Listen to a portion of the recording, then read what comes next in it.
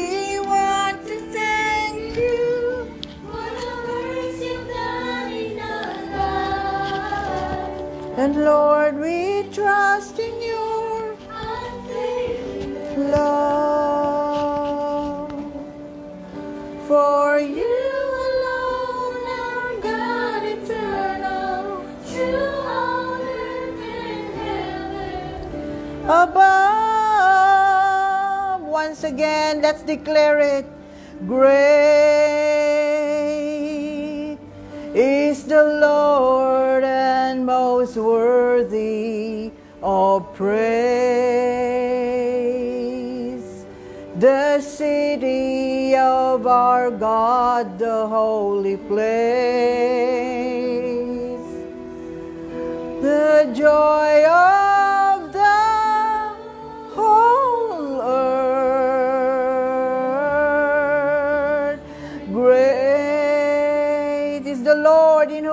have the victory.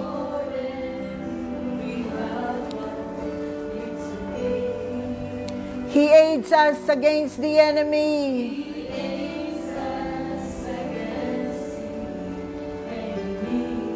We bow down on our knees. Our knees. Come on, let's worship Him. Let's lift up His name. Lord, we want to thank you. Hallelujah. You deserve it, oh God. Unfailing love. For you alone are God eternal.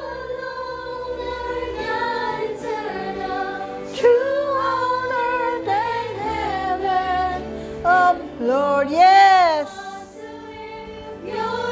We want to lift your name on high. For you deserve it, oh God. You deserve, oh Lord, to be lifted up, to be glorified, to be worshiped.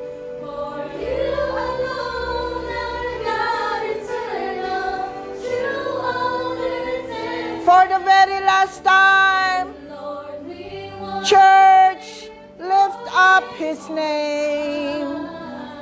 Philippines, lift up the name of the Lord.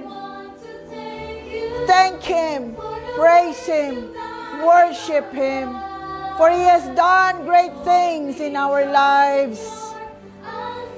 Trust Him because His love is unfailing. Glory to Jesus. Above. Yes, Lord, the earth is the Lord and the fullness thereof. You deserve our praise. You deserve our worship. You deserve honor and glory. For you alone are God eternal, and you alone are the owner of this earth. We give you praise. We give you glory. We give you honor. In Jesus' name, amen. Amen. Shall we sit down and uh, continue to dwell in the presence of the Lord? For as the song says, Great is the Lord and most worthy of praise. Amen? Dakila ang Panginoon, karapat dapat siyang purihin.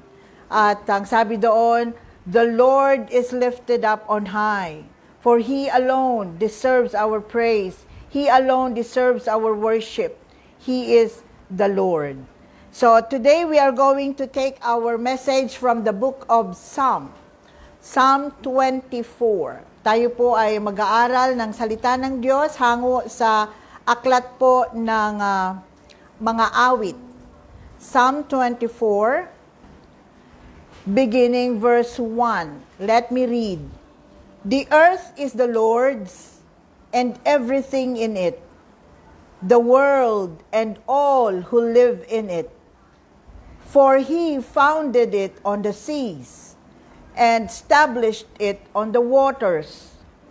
Who may ascend the mountain of the Lord?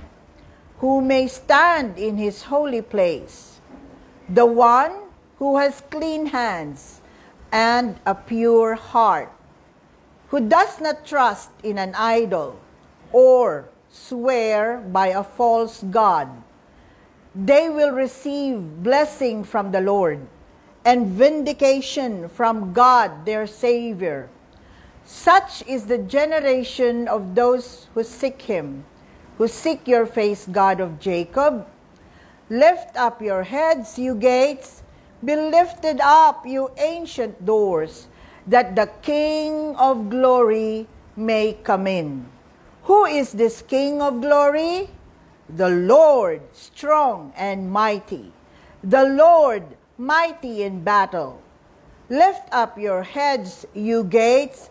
Lift them up, you ancient doors, that the King of glory may come in. Who is he? This King of glory, the Lord Almighty. He is the King of glory. Amen. Bless the Lord for his uh, powerful words. And uh, we are going to uh, try to expose these verses, powerful verses from the book of Psalm 24. As a backgrounder, let me give you the Psalm 24 was written by King David. Siya po ang may akda ng halos lahat ng awit sa aklat po ng mga awit.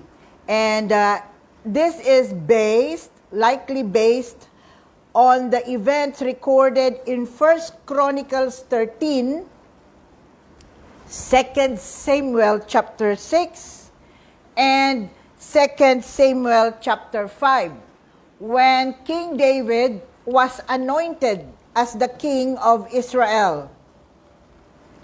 And after he was anointed as king of Israel, he went into battle and defeated the Palestines, thereby capturing the city of Jerusalem from the Jebusites in 2 Samuel chapter 5.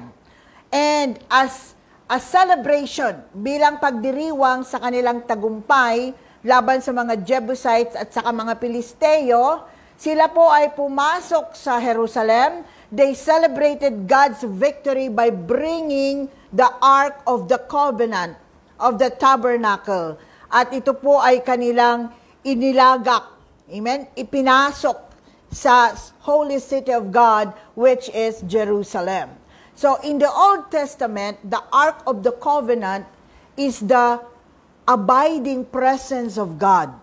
It is a reminder to the people of Israel, to the Jewish nation, of the testimony of God's presence upon his people.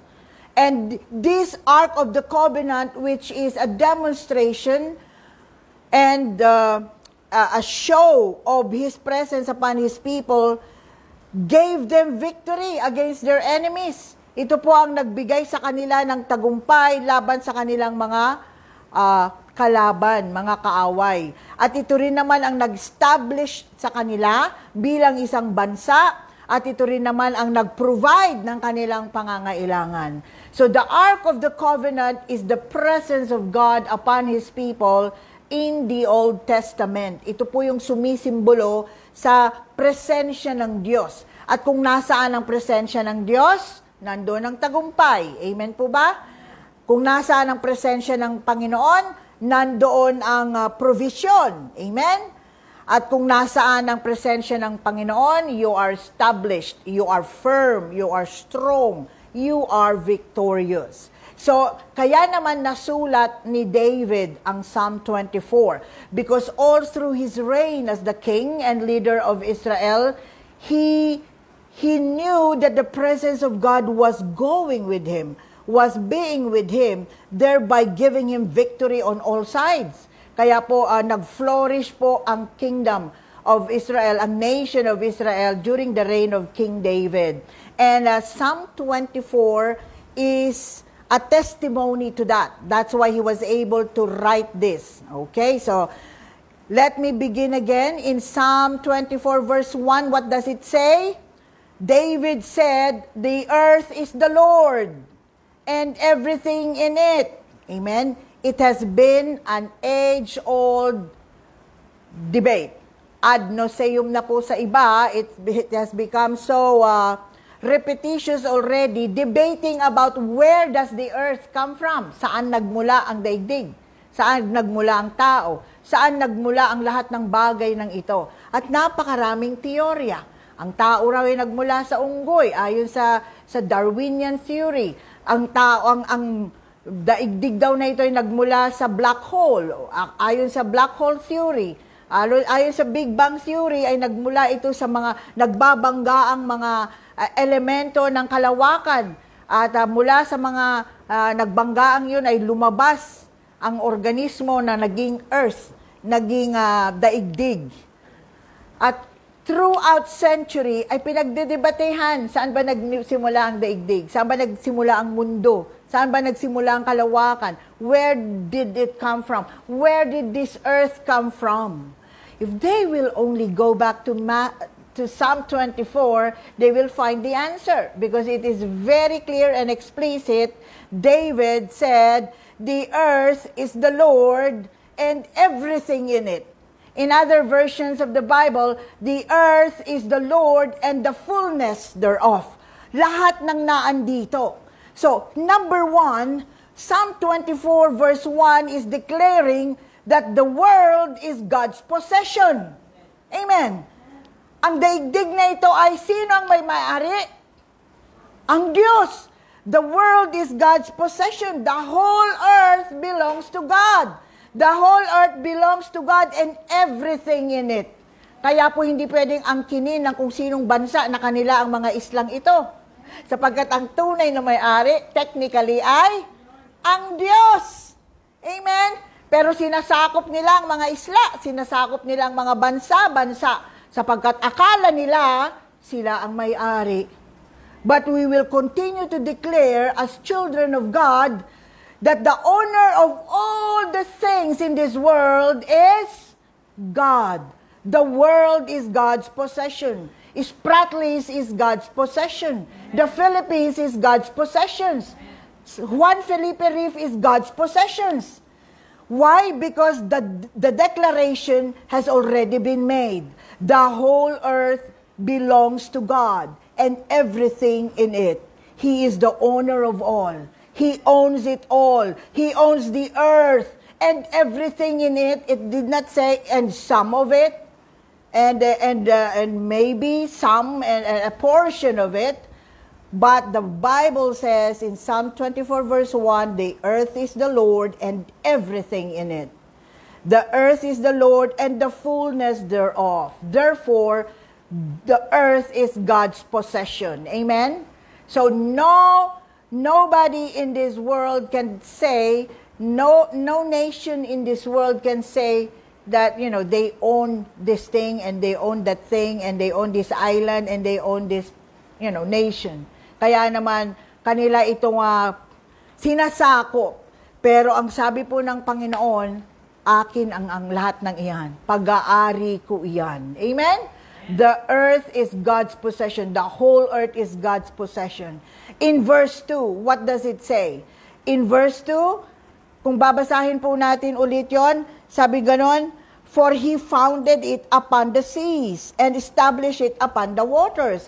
Bakit sinasabi ng Diyos na pag-aari niya ang lahat ng ito? Sapagkat siya ang gumawa nito. Pag ikaw ang gumawa niyan, pag-aari mo yan. Ang Diyos ang gumawa. Ang sabi doon, He founded it upon the seas and established it upon the waters. God is staking His claim as the world as His possession because He created it. He said, He has founded it upon the seas and established it upon the rivers. So sino po ang gumawa ng mga isla? Sino po ang gumawa ng mga ng mga katubiganan? Whether it's the West Philippine Sea, South China Sea, Pacific Ocean, Indian Ocean, whatever ocean, whatever sea, whatever river, whatever lake, the Bible says God created them all. It is God's creation, and so God is staking his claim that it is his. He owns it. Amen?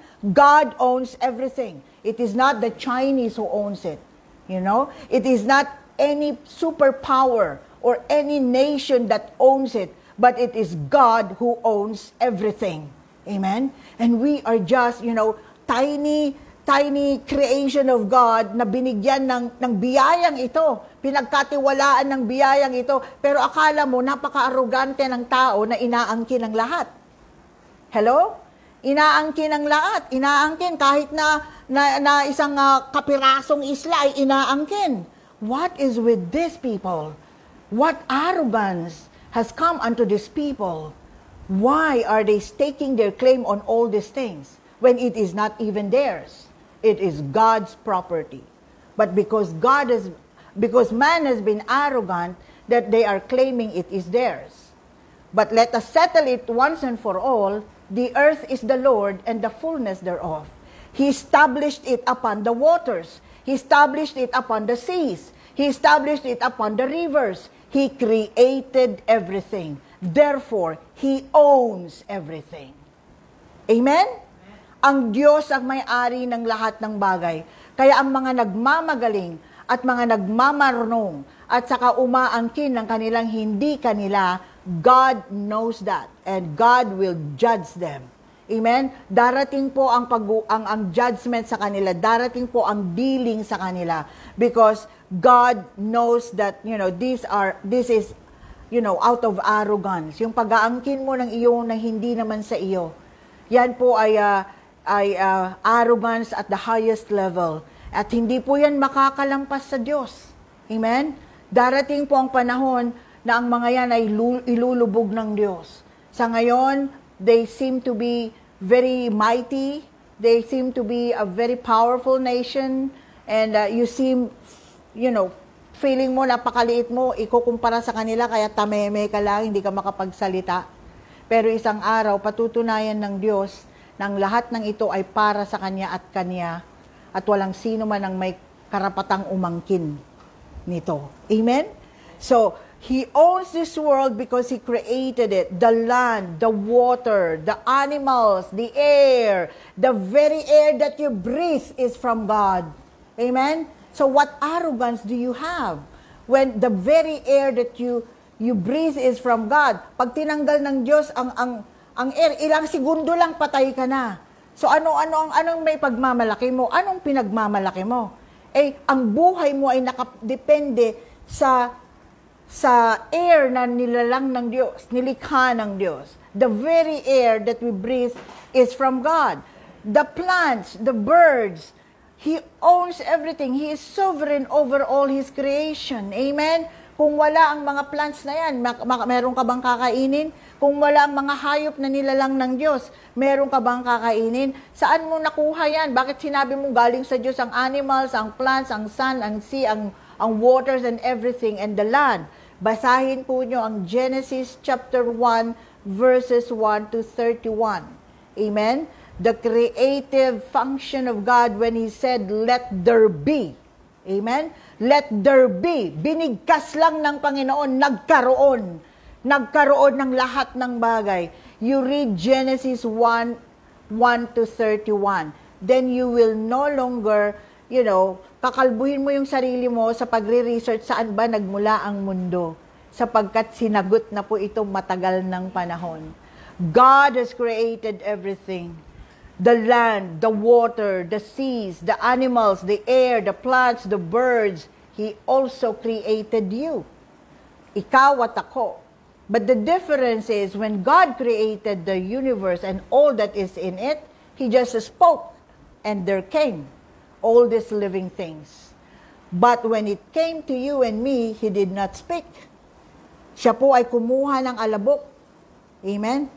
To the extent na dinumihan ng Diyos ang kanyang kamay para tayo lilukin, para tayo ay hulmahin. At mula sa nahulmang alabok, kanya po itong hiningahan. Amen? He breathed upon him, he breathed upon it the breath of life. Kanya po itong hiningahan ng kanyang espiritu, ng kanyang buhay. Kaya yun ang pagkakaiba natin mula sa mga hayop, mula sa mga uh, plants, sa mga halaman.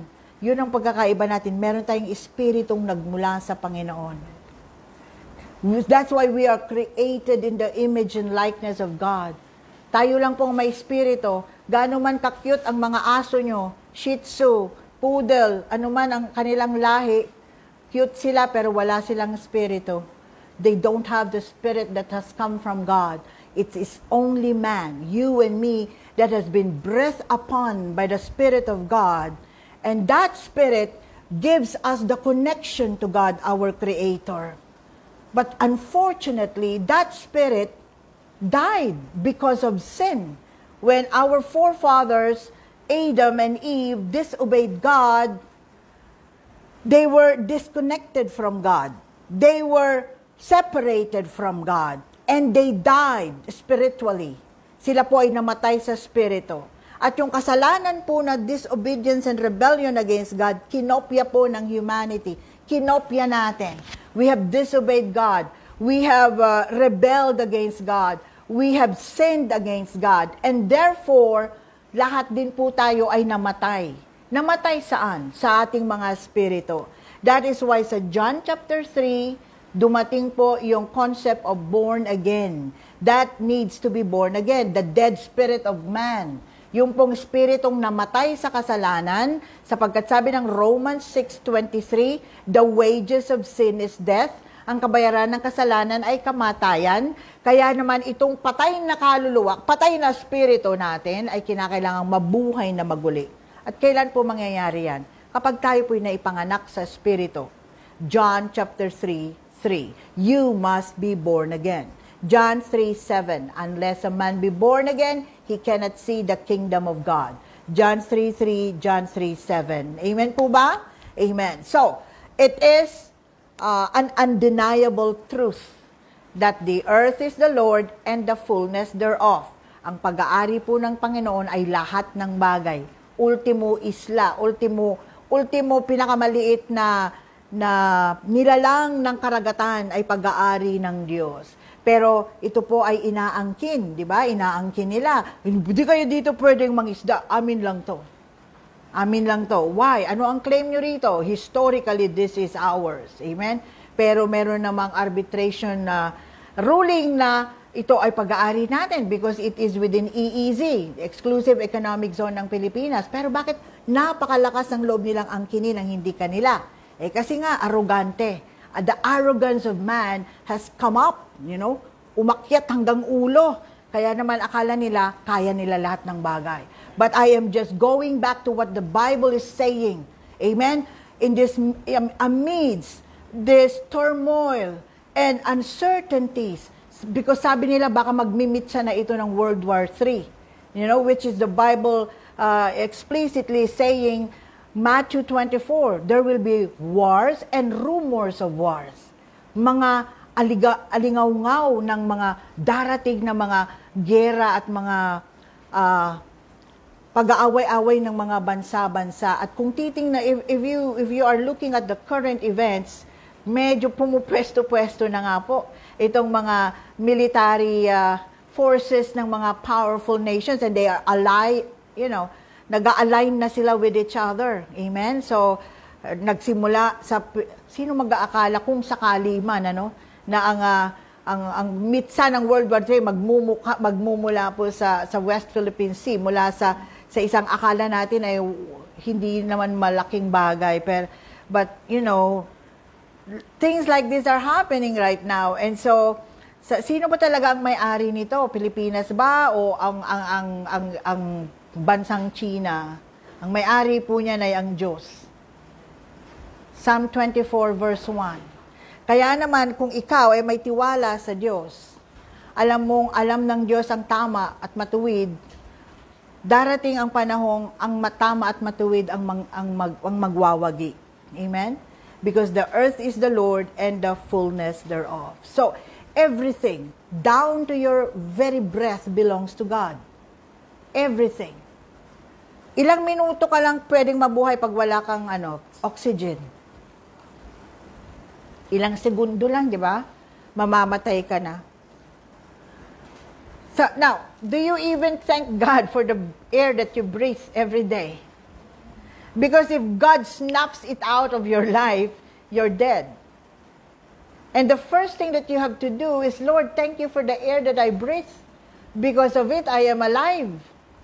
But if you take away this air that I breathe, which is free, by the way, amen, it is sagana, hindi na uubos, ang gold, namimina, isang araw mawawala. The, the resources of the, of the world, of the earth, will, be, will become very, very low. Isang araw po, ang mga non-renewable resources will be very low at isang araw mauubos po ito. Coal, oil, lahat po yan pwedeng maubos isang araw.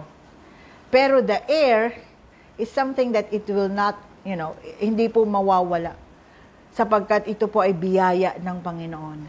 Kaya naman, nag, nag, nag, they are so scared and afraid that one day, the resources of the earth will be very low. They are trying to find resources in other planets like Mars or uh, kung saan po uh, kung saan po pwede silang makakuha ng resources sa moon. Uh, eh, nakita nila wala pa lang mabubuhay sa moon sapagkat wala doong gravity. Sa Mars, they are trying, baka nga naman, meron doong uh, possibility na mabuhay ang tao at makakuha ng resources kasi isang araw, the earth will be depleted with its resources and we can't do anything about it. But praise God because everything belongs to God and it's a gift of God to us. But this gift is, you know, we, we abuse it. Mga tao, inaabuso yung regalong ito ng Panginoon. Hindi iniingatan. Kaya naman may consequences ang mga pang-aabusong ginagawa natin sa ating kalikasan. So, but, you know, we should remember that everything is of the Lord. There is not a single nation, a single people or group of people. There is not a single place in this world that does not belong to God. Everything belongs to God. Amen? Everything, every nation belongs to God. Every people or group of people belongs to God. Every race, every creation belongs to God.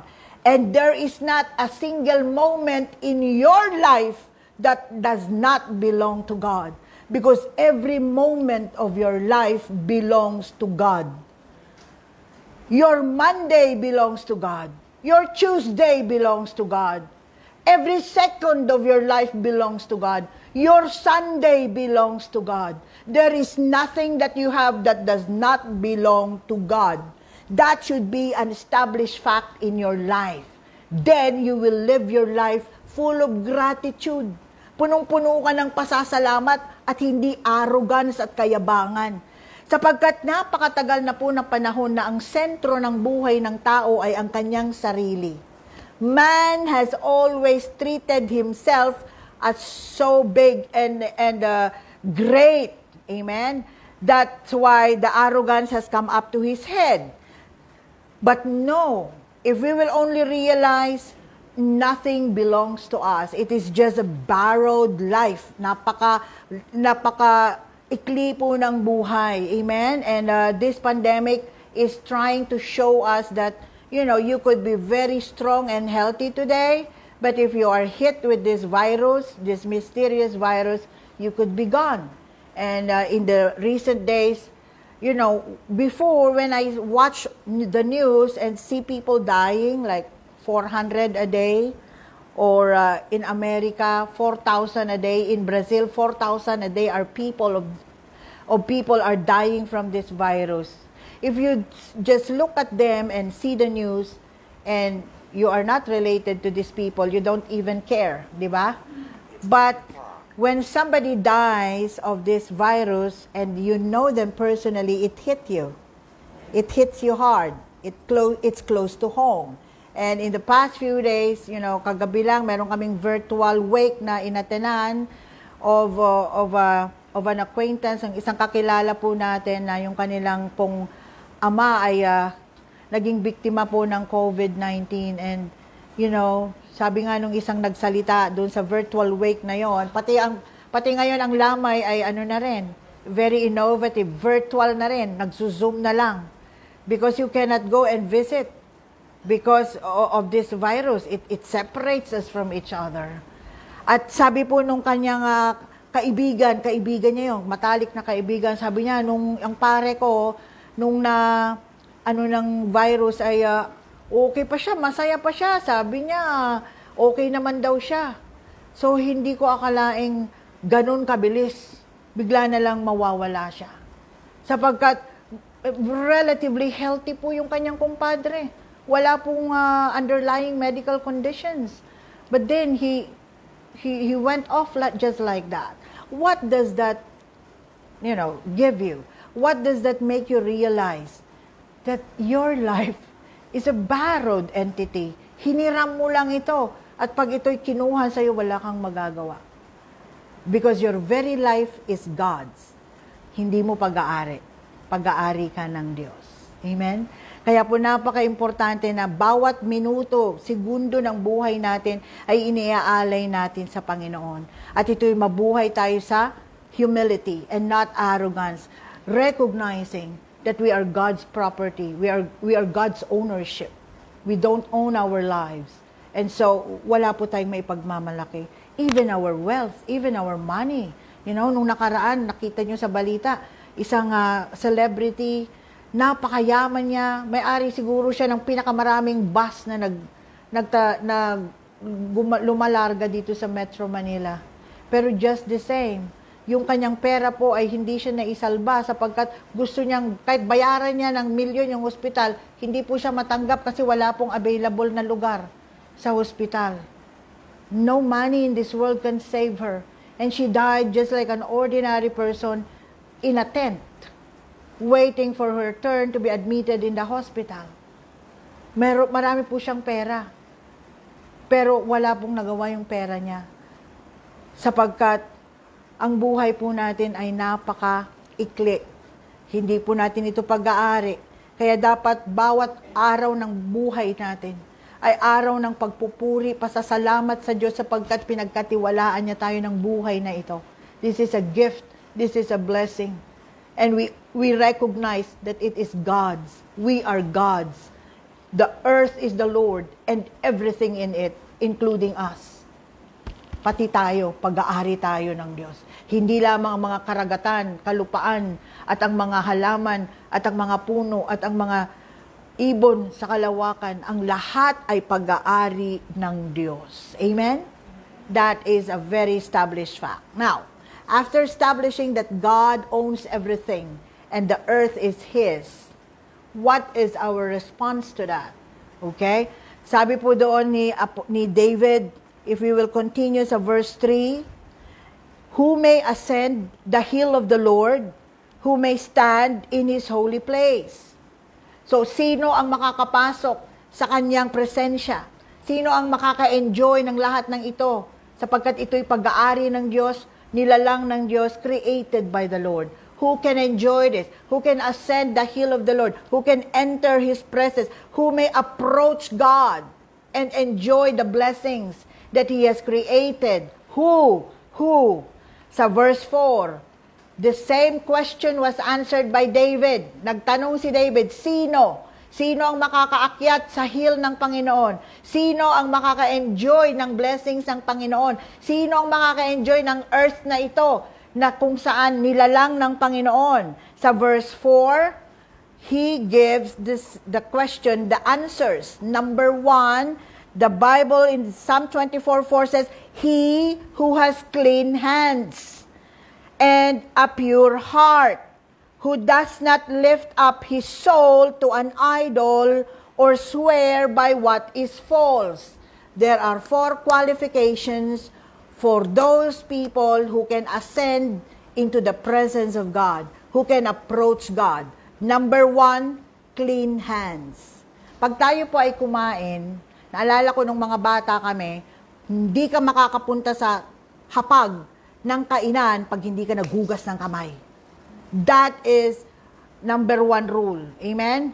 Number one, you're automatic yan. Kahit na gutom na gutom ka, huwag kang pupunta dun sa ano, sa kainan. Kinakailangan pumunta ka muna sa gripo, maghugas ka ng kamay mo. Amen? That is very basic. Amen? Because we don't want, you know, eating this uh, food with, with bare, dirty hands. Likewise, in our lives, God wants us to have clean hands.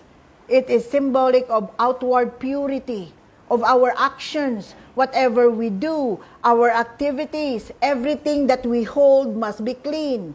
Everything that we do must be clean. Everything that we have must be clean. Ano yung pag-aari mong yan? Yan ba ay malinis o ninakaw mo? Galing yan sa taxpayers' money. Hindi dapat para sa bulsa mo yan. Pero inako mo, malinis ba yan? Amen? Sabi nga nila, eh, uh, ano naman ng, uh, yung bahay na yan eh, napakalaki nga, mansion. Pero alam mo naman na hindi yan malinis, galing sa marumi. Di ba? You don't have dignity, you don't have a good reputation if people know that what you have is out of dirty money. Katas yan ng ano, katas yan ng droga, katas yan ng kasino, katas yan ng, uh, ng, uh, ng kasalanan, katas yan ng maruming bagay. So, the Bible says in Psalm 24, for you to be able to approach the presence of God, the Ark of the Covenant is the symbol of the presence of God in the Old Testament. But in the New Testament, in our dispensation, wala na po ang Ark of the Covenant. Because the Ark of the Covenant has already been fulfilled by the Lord. When Jesus Christ died on the cross, the temple was torn. The veil of the temple was torn, which means tinanggal ng Panginoon yung hadlang that you can approach the temple of God, you can access the presence of God freely. Tinanggal ng Diyos yung hadlang sapagkat binayaran niya ang ating mga kasalanan. In the same manner, ganun din po sa atin. We are supposed to be freely, you know, accessible in the presence of God. But because of our sin, we cannot. Amen? Meron pong umahad lang. Kaya nga sabi ng Bible, hindi ako bulag para hindi kita makita o bingi para marinig ang iyong panaghoy, ang iyong panalangin, pero may humahad lang at yun ay ang kasalanan. Ganon din po ang sinasabi ni Psalm 24 verse 4 ni Haring David, Who may ascend into the hill of the Lord? Number one, he who has clean hands. In everything that we do, in every activity that we have, we should have clean hands.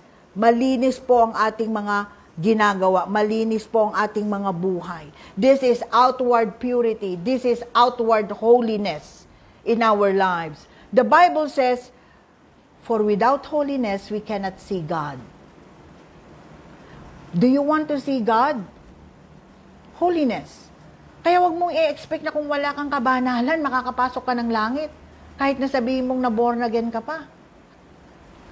Because the born again experience is just the beginning. Amen? And then after your born again experience, you live a life of obedience. Ikaw po ay mabubuhay sa pagsunod. 1 Corinthians chapter 6:13. Let's just read some of this uh, you know, about clean hands, about clean life, about holy life. You say food for the stomach and the stomach for food, and God will destroy them both. The body, however, is not meant for sexual immorality, but for the Lord, and the Lord for the body. Para saan daw po ang katawang ito? This is a holy temple of God. This is the temple of the Holy Spirit. Ito po ang templo ng banal na espiritu. Kaya't ang templong yan ay hindi raw po nararapat for sexual immorality. Yes, this body is not for sexual immorality but for the Lord and the Lord for the body. 1 Corinthians 6:18 Flee from sexual immorality. All other sins a person commits are outside the body, but whoever sins sexually sins against their own body. So sexual immorality is abominable, condemnable in the presence of God. Wala po itong lugar sa sa presensya ng Panginoon.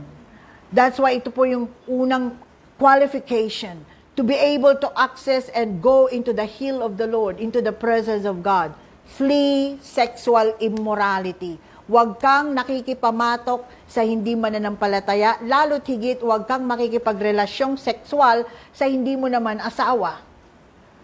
That is sexual immorality. As well as engaging in sexual immorality like uh, man-to-man sexual relationship or woman-to-woman sexual relationship. Flee from all these things, the Bible says.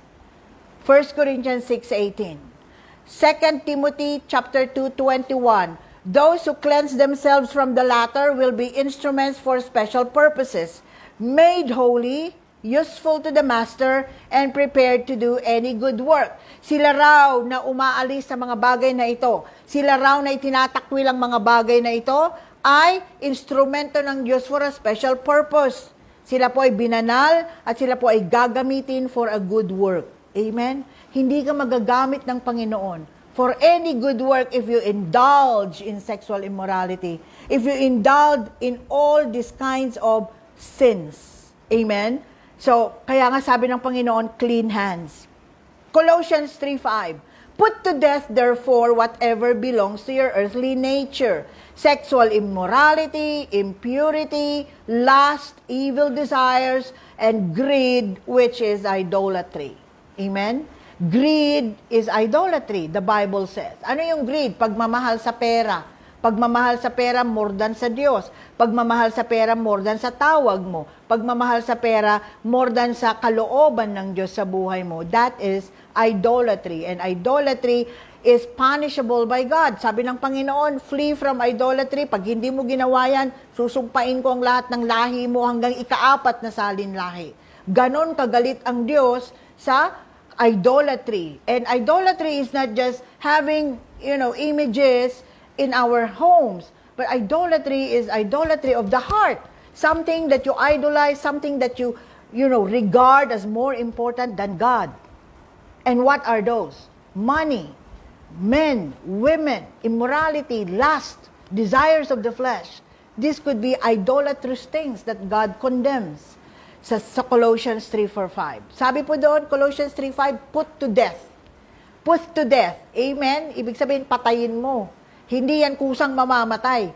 Patayin mo ikaw ang gagawa nun. Hindi mo pwedeng sabihin, eh kasi mahina ako eh, kasi natutukso ako eh, kasi uh, hindi ko kaya. Amen? Kasi hindi mo naman pinapatay. Patayin mo, sabi ng Bible. Put to death whatever desires you have, whatever immorality, impurity, lust, evil desires, and greed. Because all of these are idolatry, saith the Lord. Colossians 3.5. Hebrews 13.5. Marriage should be honored by all and the marriage bed be kept pure. For God will judge the adulterer and all the sexually immoral. Amen? Hindi po ako nagsasabi niyan. Hebrews 13 verse 5. Huwag mo raw dudumihan yung, yung marriage bed mo by not by uh, committing adultery and sexual immorality because marriage should be honored. Amen? dapat daw pahalagahan mo at i-honor yung iyong vows, yung iyong marriage vows. And so, you do not defile the bed. The keep the marriage bed kept pure. That's why adultery and concubinage is a sin. Ito po ay uh, kasalanan. Hindi po yan isang ordinaryong uh, bagay na na katanggap-tanggap. Ang lipunan po ngayon ay tinatanggap ito, di ba? Katanggap-tanggap na ito.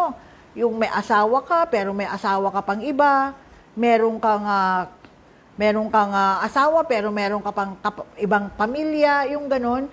And uh, the, this society has become so numb to it that we don't feel we don't feel the moral and ethical responsibility to be faithful to our families, but it has become a norm to be unfaithful and to commit adultery and sexual immorality. But God condemns it under the clean hands, under the clean hands na qualification ng Psalm 24 verse 4.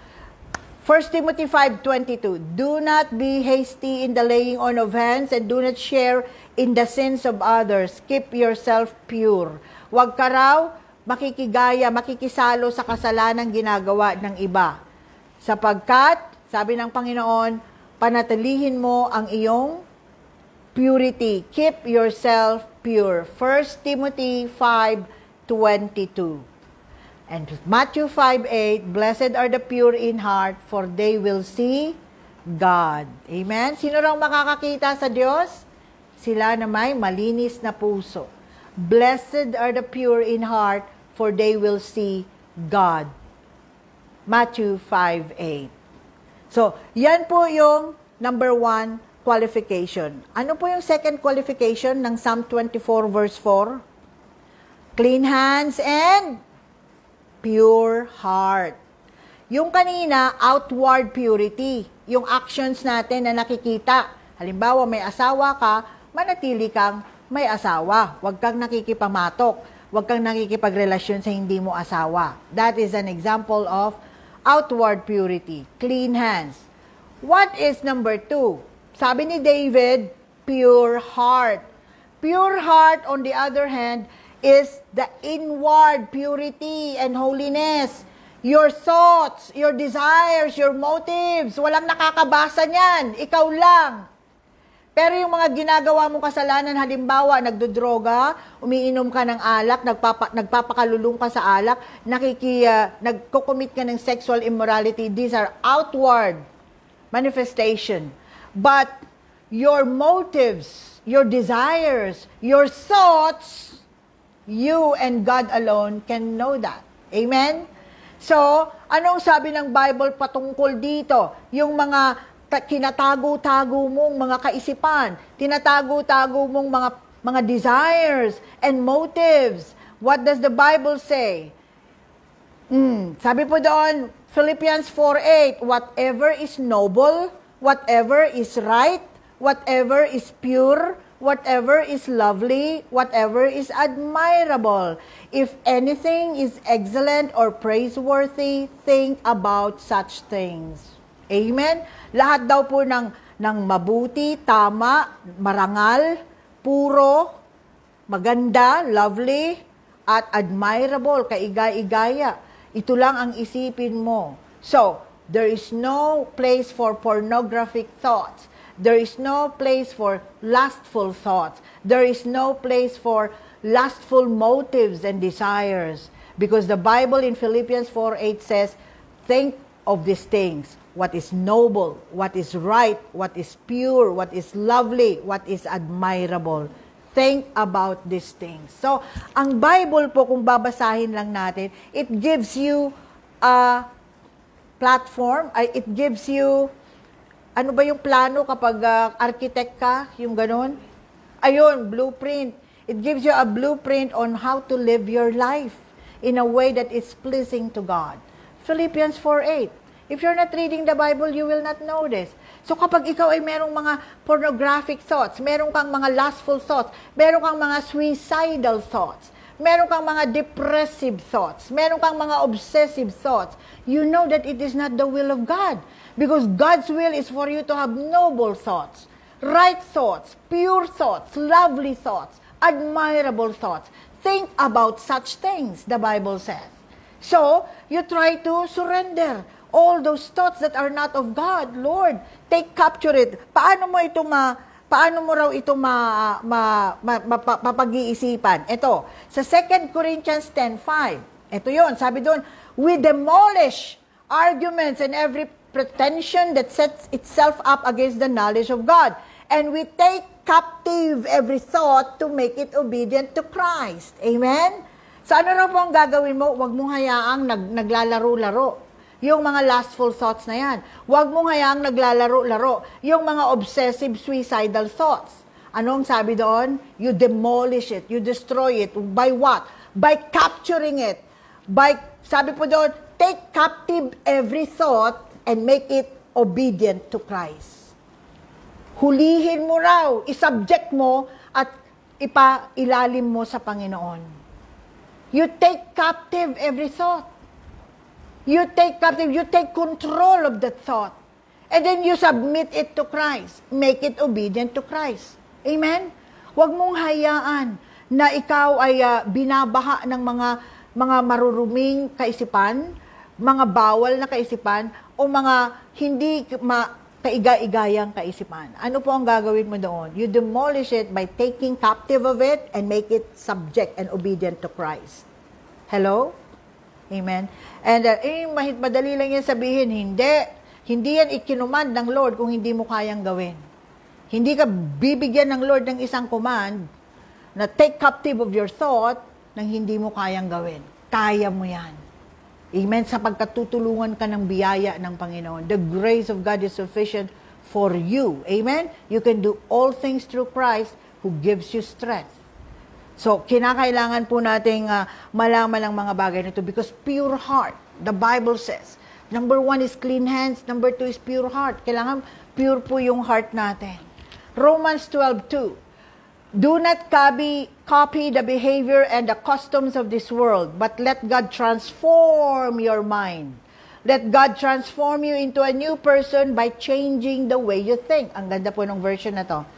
Then you will learn to know the will of God, which is good, pleasing, and perfect. All right? So, aside from taking captive of your thought, okay, do not let it linger sapagkat habang matagal na pinaglalaroan ng ng diablo yung iyong kama, yung iyong uh, mind, yan yung battleground eh. It is the battleground. Bago ka gumawa ng kasalanan, nandoon na yon. In-entertain mo. At dahil in-entertain mo, nag-ugat. Kaya ngayon, it, it controls you. Pero kapag sa simula pa lang, you take captive of it. Amen? You capture it. And then you make it obedient to Christ. Then it will be uh, easy for you to do Romans 12:2, which is what? Do not conform to the patterns of this world, but let God transform your mind. Amen? Pagkatapos mong i-subject, i-submit, i-surrender sa Panginoon yung thoughts mo, Lord, alam ko hindi ka hindi mo kalooban to. So Lord, tulungan mo ako. I surrender it to you. And then darating yung grace ng Lord, yung biyaya ng Lord, tutulungan ka niya. At sabi doon, God will transform you into a new person by changing the way you think. Amen? Bigla na lang mawawala yung desire mo for these things. Mawawala yung desire mo for nicotine for pornography, for sexual immorality and lustful thoughts. Mawawala iyon because God will transform your mind. God will change your mind. Amen? But the first thing you did was to surrender, to submit, to take captive of your thought and make it obedient to Christ. Amen po ba? Amen. And then, kapag ginawa mo raw yun, you will learn the will of God. Malalaman mo kung ano yung will ng Diyos. We cannot know the will of God because we are not transformed. Our minds are not occupied by godly thoughts, but by, you know, demonic and lustful thoughts, worldly thoughts. That's why the first thing that God has to do in our lives is to transform this mind, to transform our thoughts. And then, the Bible says in Romans 12:2, we will be able to discern the will of God. And when you discern the will of God, and then aba, eh, safe ka. Kasi nasa kalooban ka ng Panginoon. Amen? Marami ang tao, maraming tao wala sa will ng Lord sapagkat hindi po nila dinaanan ang mga prosesong ito. Kaya hanggang ngayon, they are cap- their thoughts are captive by the enemy instead of captive by the will of God. And then, if you will know the will of God, Romans 12:2, you will do what is good, pleasing, and perfect in His sight. Are you doing what is good? Are you doing what is pleasing? Are you doing what is perfect in the sight of God? Or it is completely the opposite. Pure heart. Pure heart. Amen? Purong puso para sa Panginoon. Number three. Ano pa po yung sabi ni, ni uh, David? in order for you, who may ascend? Who is qualified? Who may ascend to the hill of the Lord? Who will enter the presence of God? Aside from having clean hands and pure heart, sabi po ni David, those who do not trust in an idol. Amen? Those who do not trust in an idol. Sabi po doon sa Psalm 24 verse 4, those who do not lift up his soul to an idol. So God is a jealous God. We know that. Napaka mapanibughuin po ng Diyos. And so, from the Old Testament to the New Testament, He is always dealing with idolatry. Idolatry of the heart. Idolatry of His people. In the Old Testament, every time, the Israelites worship other gods, hidden gods, Baal, God punishes them. Sila po ay pinapunish ng Panginoon.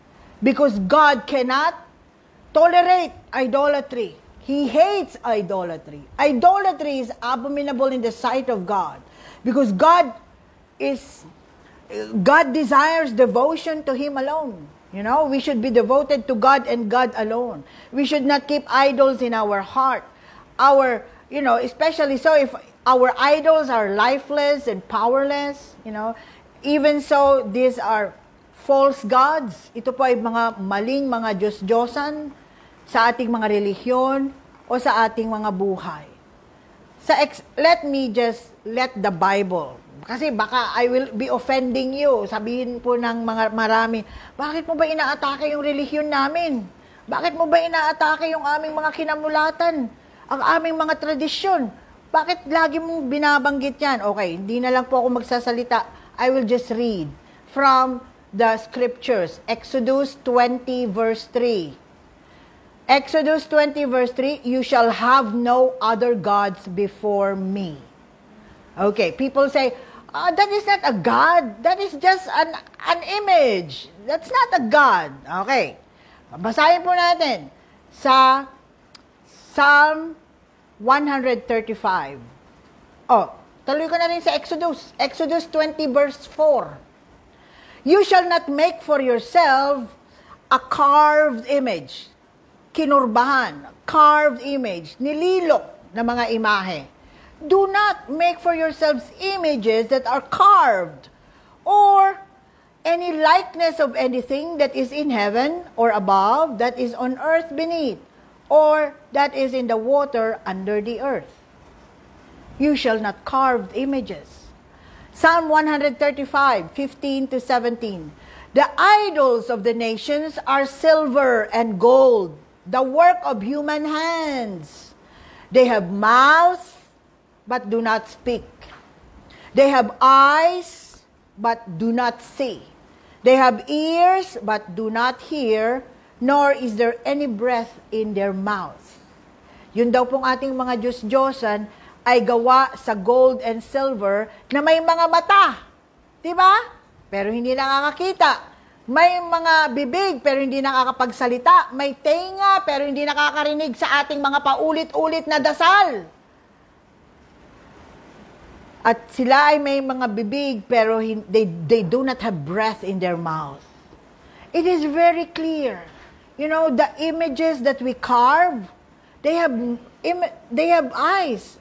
They have nose, have mouth. They look beautiful. Dinadamitan natin sila. Pinapalumutian. Dinadamitan ng ginto. Ginagab, dinadamitan natin sila ng mga uh, silver and gold at marami pang mga kumikinang-kinang. At hindi lamang yan, hindi lamang natin dinadamitan, pinaparada pa natin, iniilawan, dinadasalan, inaalayan ng mga bulaklak at mga kandila.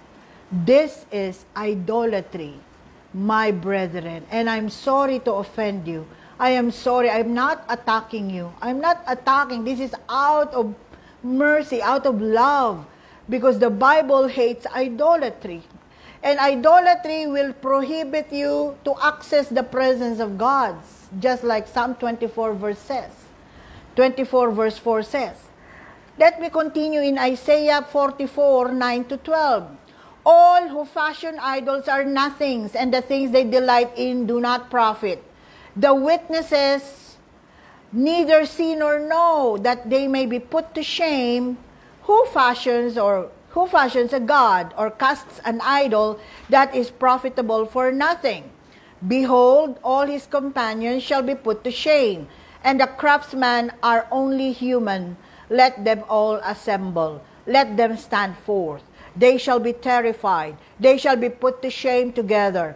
The ironsmith, ironsmith, yung mga magbabakal, they take cutting tools and work it over the coals He fashions it with hammers, pinupukpok daw ng mga martilyo, and works it with his strong arms. He becomes hungry, and then his strength fails, and then he drinks no water in his face.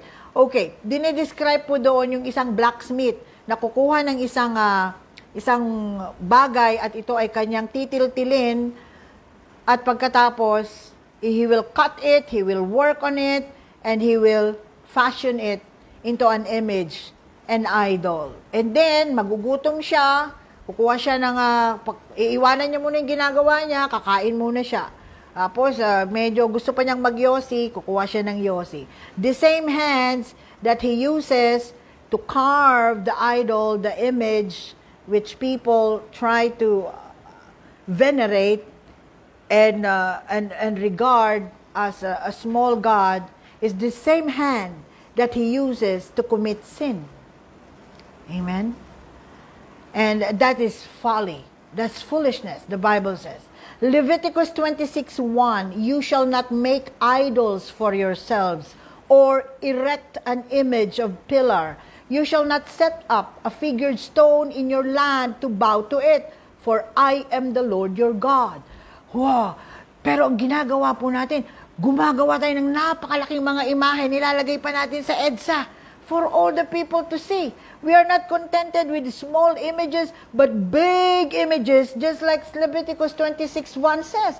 Sabi doon, you shall not set up figured stone in your land to bow down to them.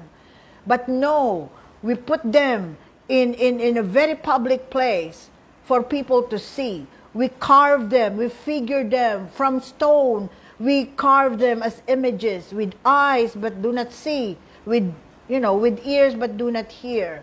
This is what we are doing, brethren. Hebrews 13:5 Keep your life free from the love of money and be content with what you have for what he has said, I will never leave you nor forsake you. So hindi lang po ang idolatry ay yung mga images na ating nilalagay sa ating mga maaltar o sa ating mga simbahan kundi ang idolatry rin ay kapag ating pinahalagahan ang pera ng higit sa ating Panginoon. Sa uh, Hebrews 13:5, keep your life free from the love of money. Okay? It did not say keep your life free from money. It said keep your life free from the love of money. Money is a blessing. Just don't love it more than your God. Blessing po ang pag ang, ang pag paghawak ng malaking pasalapi sapagkat ito po ang ginagamit ng Panginoon para i-accomplish yung advancement ng kingdom niya in the last days. But the Lord is giving us explicit warning, let us not love money, but keep our lives free from the love of money. Because the Lord has promised, I will never leave you nor forsake you. Amen. In these times of pandemic, People are losing their jobs. People are closing their businesses. But the Lord has promised, I will never leave you nor forsake you. Can you trust the Lord when He promises that? Kaya mo bang pagtiwalaan ng Diyos? Na sa gitna ng, ng, ng mahigpit na pangangailangan ng pera sapagkat ngayon po ay uh, oras ng krisis dahil sa pandemya, ikaw po ba ay makakapagtiwala sa Diyos na hindi mo mamahalin ng pera bagkos magiging tapat ka pa rin sa iyong pagbibigay. Magiging tapat ka pa rin sa iyong pag-iikapo, sa iyong paghahandog, sa iyong pagpe-pledge, sa iyong sacrificial offering and sacrificial giving. You will not abandon that and you will continue to trust that the Lord will never leave you nor forsake you. The Lord has promised, napakaraming pangako ng Lord sa atin. Amen? Napakaraming assurances na hindi niya tayo pababayaan, hindi niya tayo iiwanan. Amen. So sa gitna po ng pandemyang ito, maging tapat po tayo sapagkat ang pagbibigay po ang magiging susi at daan ng ating pagpapala. Give and it shall be given to you. Amen. Subukan niyo ako, ang sabi ng Panginoon. Kung hindi, bubuksan ko ang kalangitan, pati na ang durungawan, at ikaw ay aking babahain ng pagpapala. The Lord will continue to bless you because your blessing does not depend on your economy, does not depend on your business. Your blessing depends on God. Maraming mga bagay ang dumating sa buhay ng, ng mga anak ng Diyos, sa buhay ng mga Israelita. Sila po ay dumating sa matinding mga laban ng buhay. Pero kahit kailan hindi sila pinabayaan ng Panginoon. Sa gitna ng ilang, in the middle of the wilderness, they had nothing to do, they had nothing to eat there. It's a wilderness. What can they eat? Wala, o hindi yun forest na meron sila makukuhang mga prutas. It's the wilderness. It's a desert. What can they eat there? They will all die. But not no one died. Because God was faithful to, the, to His promise to the Israelites. Amidst the desert, amidst the wilderness, came the manna from heaven as a testament to the promises of God, to His faithfulness, to His truthfulness, to His trustworthiness. Amen? And in the same manner, the Lord is telling you, Anak, I will never leave you. I will never forsake you. Put your trust in the Lord. Put your trust in God. Because I tell you, this pandemic, it will not, you know, get better sooner. Hindi po ito magiging maigi ng, ng, ng sooner, although we are praying for it. Amen? But, you know, if worst comes to worst, amen, there is no reason for panic for true children of God. Because the Lord has promised, anak, whatever situation you are in, I promise you, I will never leave you. I will never forsake you. Amen? Unless you the one to forsake God. Malibang ikaw mag-forsake kay Lord. Pero si Lord, hindi kanya i-forsake. Si Lord, hindi kanya iiwan. Malibang ikaw ang may iwan kay Lord malibang ikaw ang mang-iwan kay Lord. Amen po ba?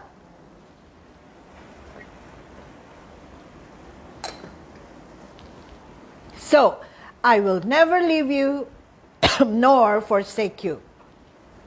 So ano na po yung mga qualifications na inaral natin sa Psalm 24 verse 4 na sinabi ni David, The earth is the Lord and the fullness thereof, and who is qualified to enjoy that fullness? Who is qualified to access and go up to the hill of the Lord and enjoy the blessings of God. Number one, he who has clean hands. Number two, he who has pure heart. And number three, he who does not swear by a false God or give himself to idolatry. Number four, number four, Psalm 24 verse 4, ah, yun po pala, The number three is he who does not lift up his soul to an idol, and number four, he who does not swear by what is false. He who does not swear by what is false. Siya na hindi sinungaling sa madaling salita. Okay? So yung una, purity, outward purity in action. Pangalawa, purity in thoughts. Number three, purity in our uh, in, in our worship. Yung hindi tayo nag-worship sa mga idolatrous uh, images. At ang number four, purity in speech. Purity in speech. Napakahalaga po sa Panginoon ng ating mga bibig. Napakarami pong mga scriptures ang uh, kinokondem ng Panginoon, ang lying tongue, ang sinungaling na bibig.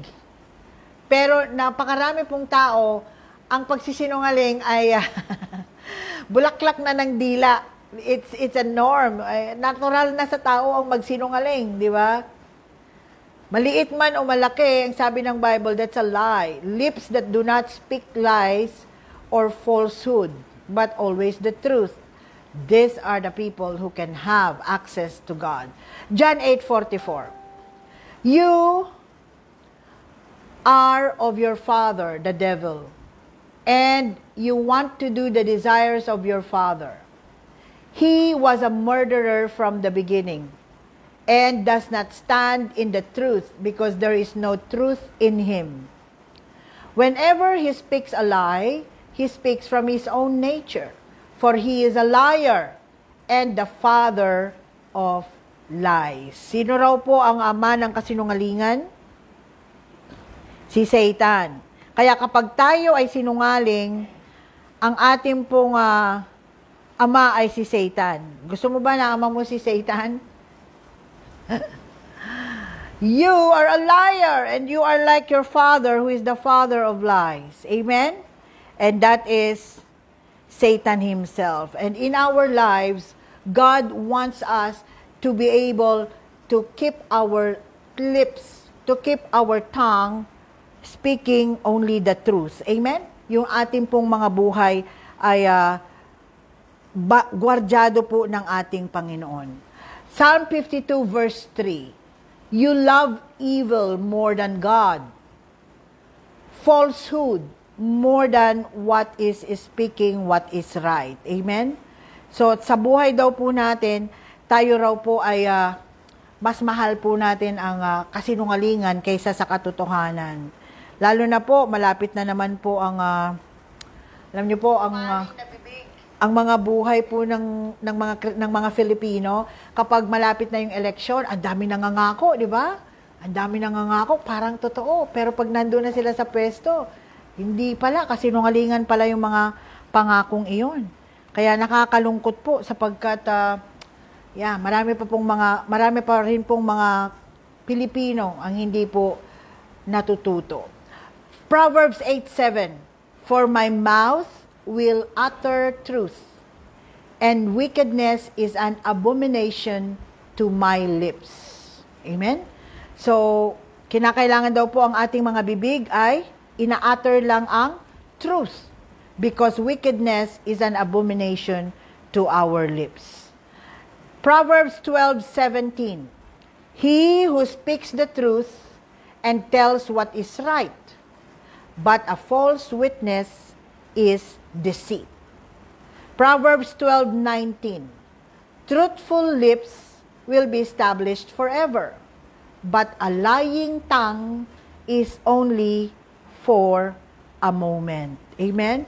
Yun daw pong ah, sinungaling na bibig, pansamantala lang yan. Pero yung nagsasabi ng katotohanan, he will be established forever. Amen? Kapag ang buhay mo ay nabubu kapag ang buhay mo ay nakatindig sa kasinungalingan, ikaw ay babagsak.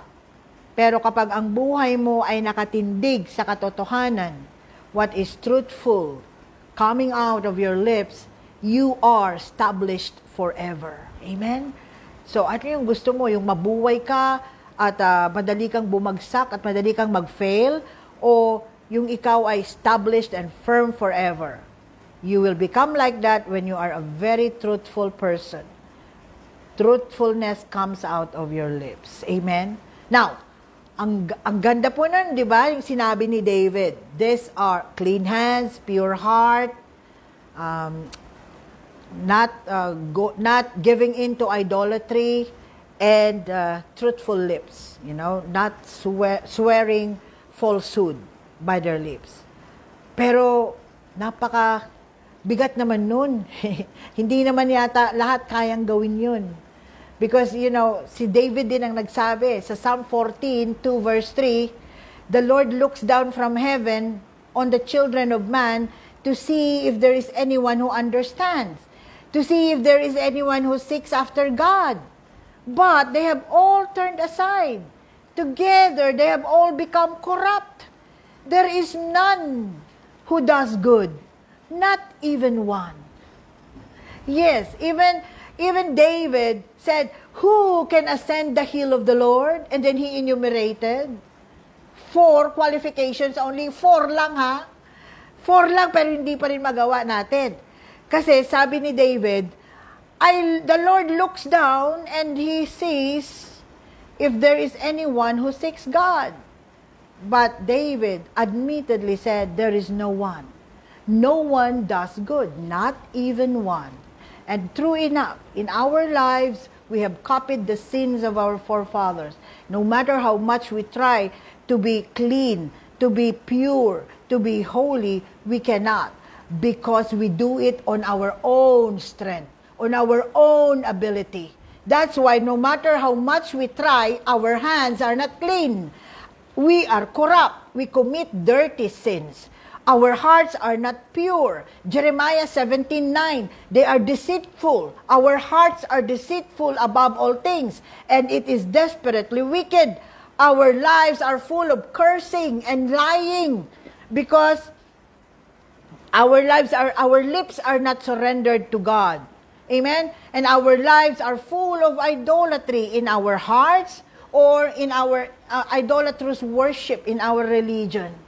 Because we have copied the sins of our forefathers. Kaya po sa sarili natin, hindi natin kaya lahat ng qualifications na ito na sinasabi ni David. Kaya po, babalikan po natin yung pinag-aralan natin nung nakaraang linggo, which is, you know, the journey to the cross.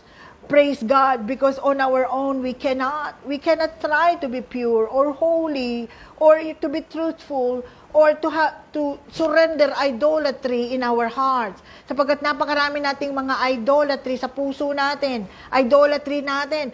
Mas mahal natin ang Diyos, ay mas mahal natin kesa sa Diyos ang pera. Mas mahal natin kesa sa Diyos ang ang, ang, ang K-pop. Mas na, ginugugol natin ang ang maraming oras sa pagbabasa, sa panunood ng mga K-pop, ah, lahat ng mga bagay na K-pop higit sa Panginoon. Kala natin okay lang to, but if you are spending more time and moments with this K-pop than God, that is idolatry. And God hates idolatry. You will, God will bring down idolatrous worship. At hin- pag hindi mo yan sinuko sa Panginoon, you will bring, you will go down with your idolatry. Bab- wawasakin at babasagin ng Diyos ang lahat ng mga idolatry sa buhay ng tao, sa mundo. At kapag hindi mo yan isunuko ngayon pa lang, kasama kang mawawasak, kasama kang babagsak. Kaya ngayon pa lang tinatawagan tayo ng Diyos na isuko ang lahat ng idolatry sa puso natin. Idolatry sa pagmamahal sa pera, idolatry sa pagmamahal sa mga celebrities, higit sa Diyos. We are so obsessed. We spend time, a lot of time, like three hours, five hours, watching, enjoying their music, enjoying their presentations, their performances, more than God. You cannot even listen to a godly music. Pero punong-puno yung playlist mo ng, ng, ng, ng lahat ng mga worldly music. This is idolatry in the heart. You don't have an idol in your altar, but you have an idol in your heart. And God wants you to surrender that because God will break it down. And if you do not surrender it now, you will go down with your idolatry. You will be broken down. You will be judged with your idolatry. And so God wants us to surrender that. Now, we cannot do that, as I said, on our own strength. That's why there is the cross. Kung titingnan po natin sa verse 5, tuloy po natin ang sabi ni David, if you are if you will do this, Psalm 24 verse 4, you will receive blessing from the Lord and vindication from God his savior. Ano raw ang mangyayari sa iyo? Ano raw ang matatanggap mo? Blessing. Blessing. Blessing is the product of your obedience. Sabi po sa ibang version, he will receive blessing from the Lord and righteousness from the God of his salvation. Dalawa, blessing and righteousness. Blessing ay resulta at consequence ng iyong obedience sa Diyos. Righteousness is the consequence of what the Lord Jesus Christ has done on the cross. Because we cannot have our own righteousness. Wala tayong sariling katuwiran. Pero yung katuwiran ng Panginoon nung siya'y namatay sa krus, magkakaroon tayo ng karapatan. At iyon ay idadamit niya sa atin i-impute niya sa atin. By the atonement on the cross, Jesus Christ paid for the penalty of our sins. And so whatever righteousness that we cannot do in the past, we cannot achieve righteousness on our own, no matter what we do. People think that they can achieve righteousness by doing donation by millions on their simbahan. People think that they will receive righteousness by, you know, having a double degree or, or a doctorate or PhD. People think that they will have righteousness if they will have a fat bank account in the bank. Pero hindi po yun ang way to righteousness because righteousness is only the work and the work of God. Ang Diyos lang po ang may trabaho nun. Yung blessing mo, depende sa pagsunod mo. Tama po yun. Blessing is dependent on your obedience. God cannot bless you if you are not obedient. Anong klaseng Diyos yun? Merong isang anak na sumusunod ng matapat, tapos merong isang anak na swail, hindi sumusunod. Tapos pareho sila makakatanggap ng blessing. Asaan yung justice? Nasaan yung katuwiran? God is a righteous God. Amen? But, if we are willing to surrender ourselves to God and allow His righteousness to clothe us, so that we can have access and pre- into the presence of God, then doon magkakaroon ng kaibahan ng lahat. Amen? Ngayon, hindi, hindi ka na mag-struggle. Amen? Hindi ka na mag-struggle na pumunta sa presence ng Panginoon. Amen? Sapagkat ang righteousness ng Panginoon ang magbubukas nito. Amen po ba?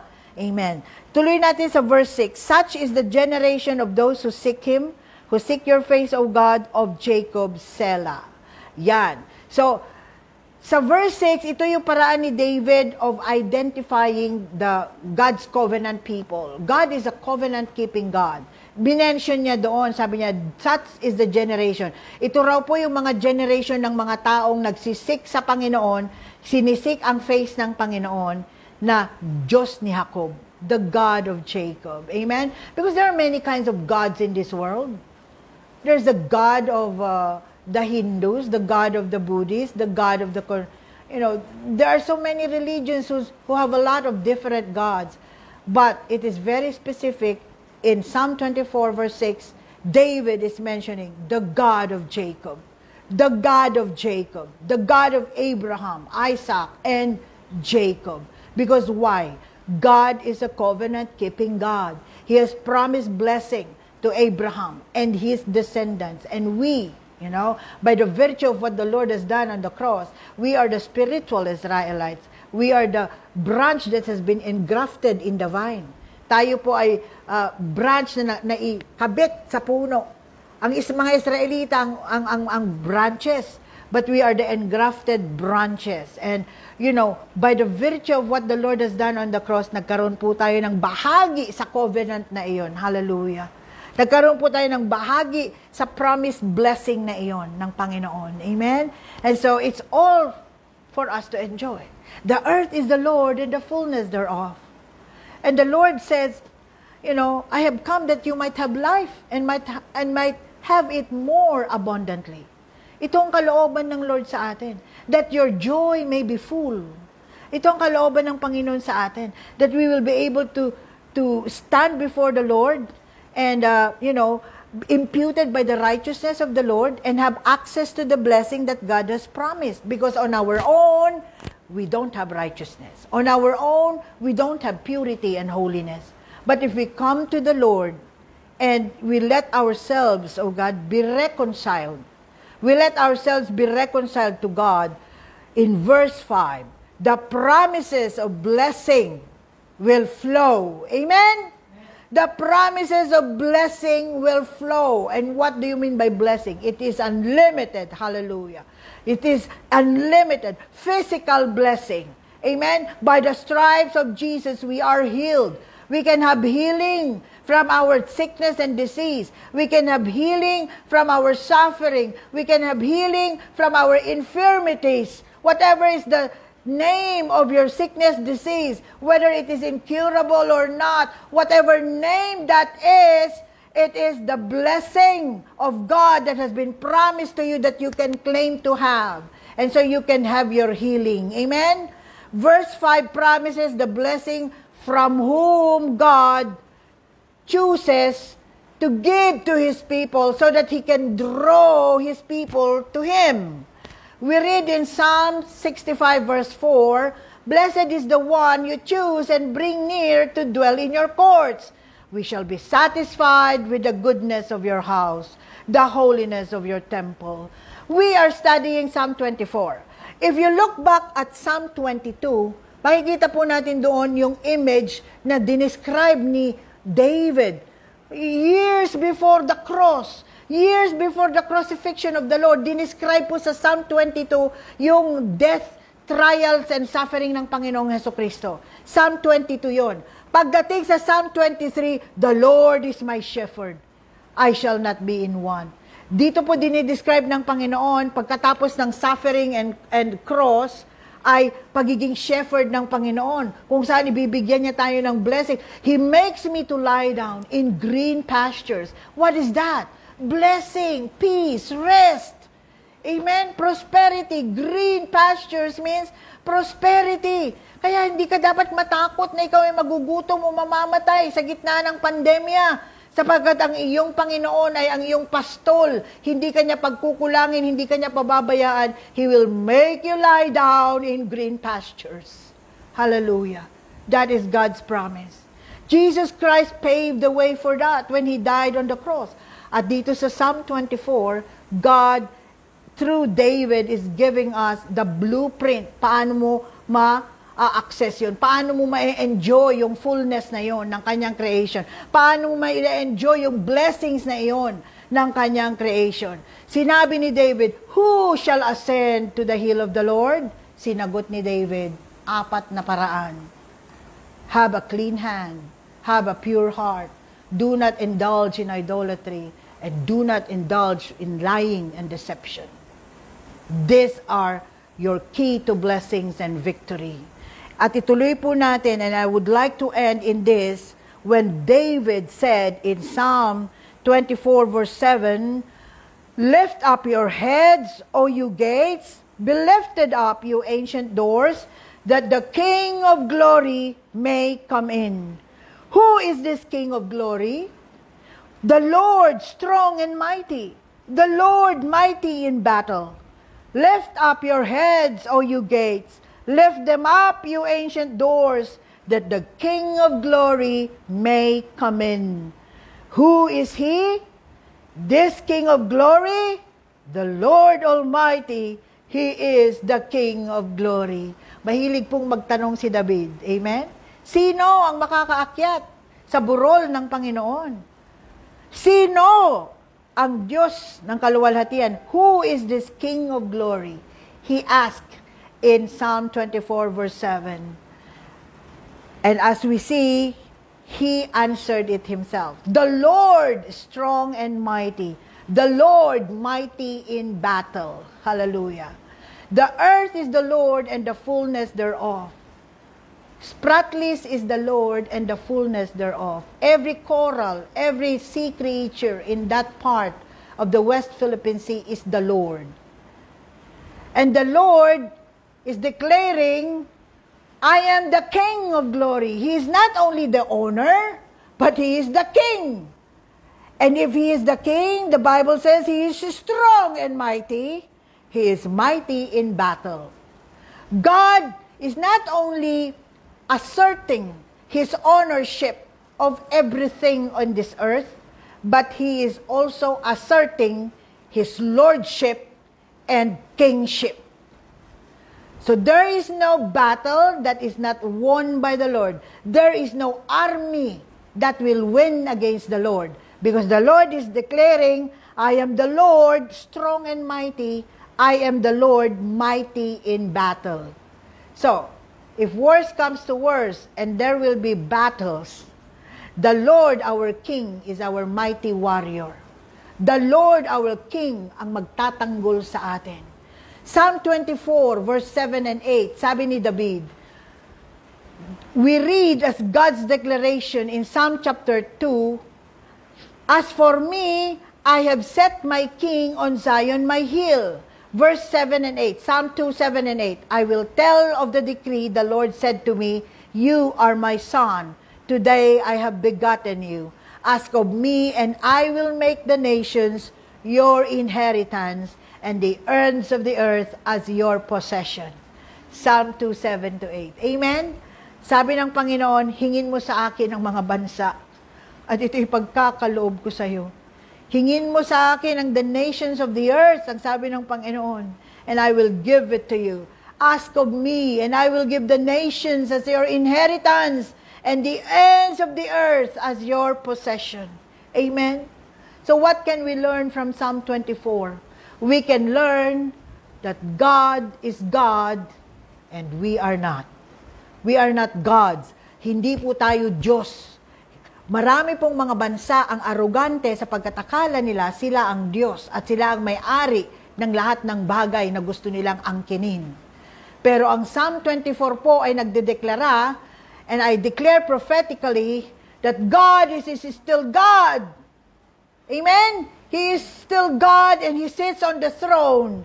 And those who pretend to be gods, small gods, God will put them into a base. Sila po ay papahiya ng Diyos. Sila po ay wawasakin ng Diyos. We cannot view ourselves as the center of the universe because truly God is the center of the universe. We cannot, we should stop assuming that everything revolves around us. Amen? Itigil na natin yung kaisipan na tayo ang hari at Diyos ng ating mga sarili. Na tayo ang hari at Diyos ng mga nasa paligid natin. Na lahat sila ay dapat sumunod sa atin sapagkat tayo ay Diyos. Small gods. We should stop, you know, believing that because we have, you know, the biggest wealth in the world, because we have you know, people around us and we have a mighty army around us that we can do anything and everything that we want. Because that is such a foolishness. You are not the center of the universe. God is the center of the universe.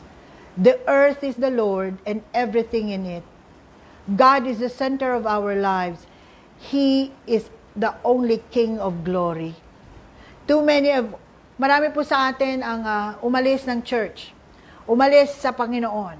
Sapagkat akala natin, yung Panginoon natin ay wala lang, mahinang klase. But the Lord is declaring, I am the King of glory.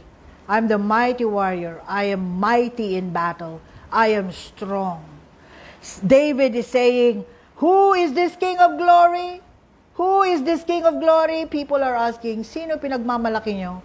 Sinong pinagmamalaki nyo? Kaya nyo ba kaming labanan? Napakaliit nyo. Maliit lang, maliit lang kayo. Marami kami, malaki kami, powerful kami. Meron ba kayong nuclear missile? Meron ba kayong uh, militia? Meron ba kayong uh, meron ba kayong mga pandigma? Meron ba kayong mga instrumentong pagdigma? meron kaming King of Glory. Who is this King of Glory? Ang tanong nila. Sino yung pinagmamalaki nyo? The Lord strong and mighty. The Lord mighty in battle. So, Philippines, lift up your hands. O you gates, lift them up. You ancient doors, that the King of glory may come in.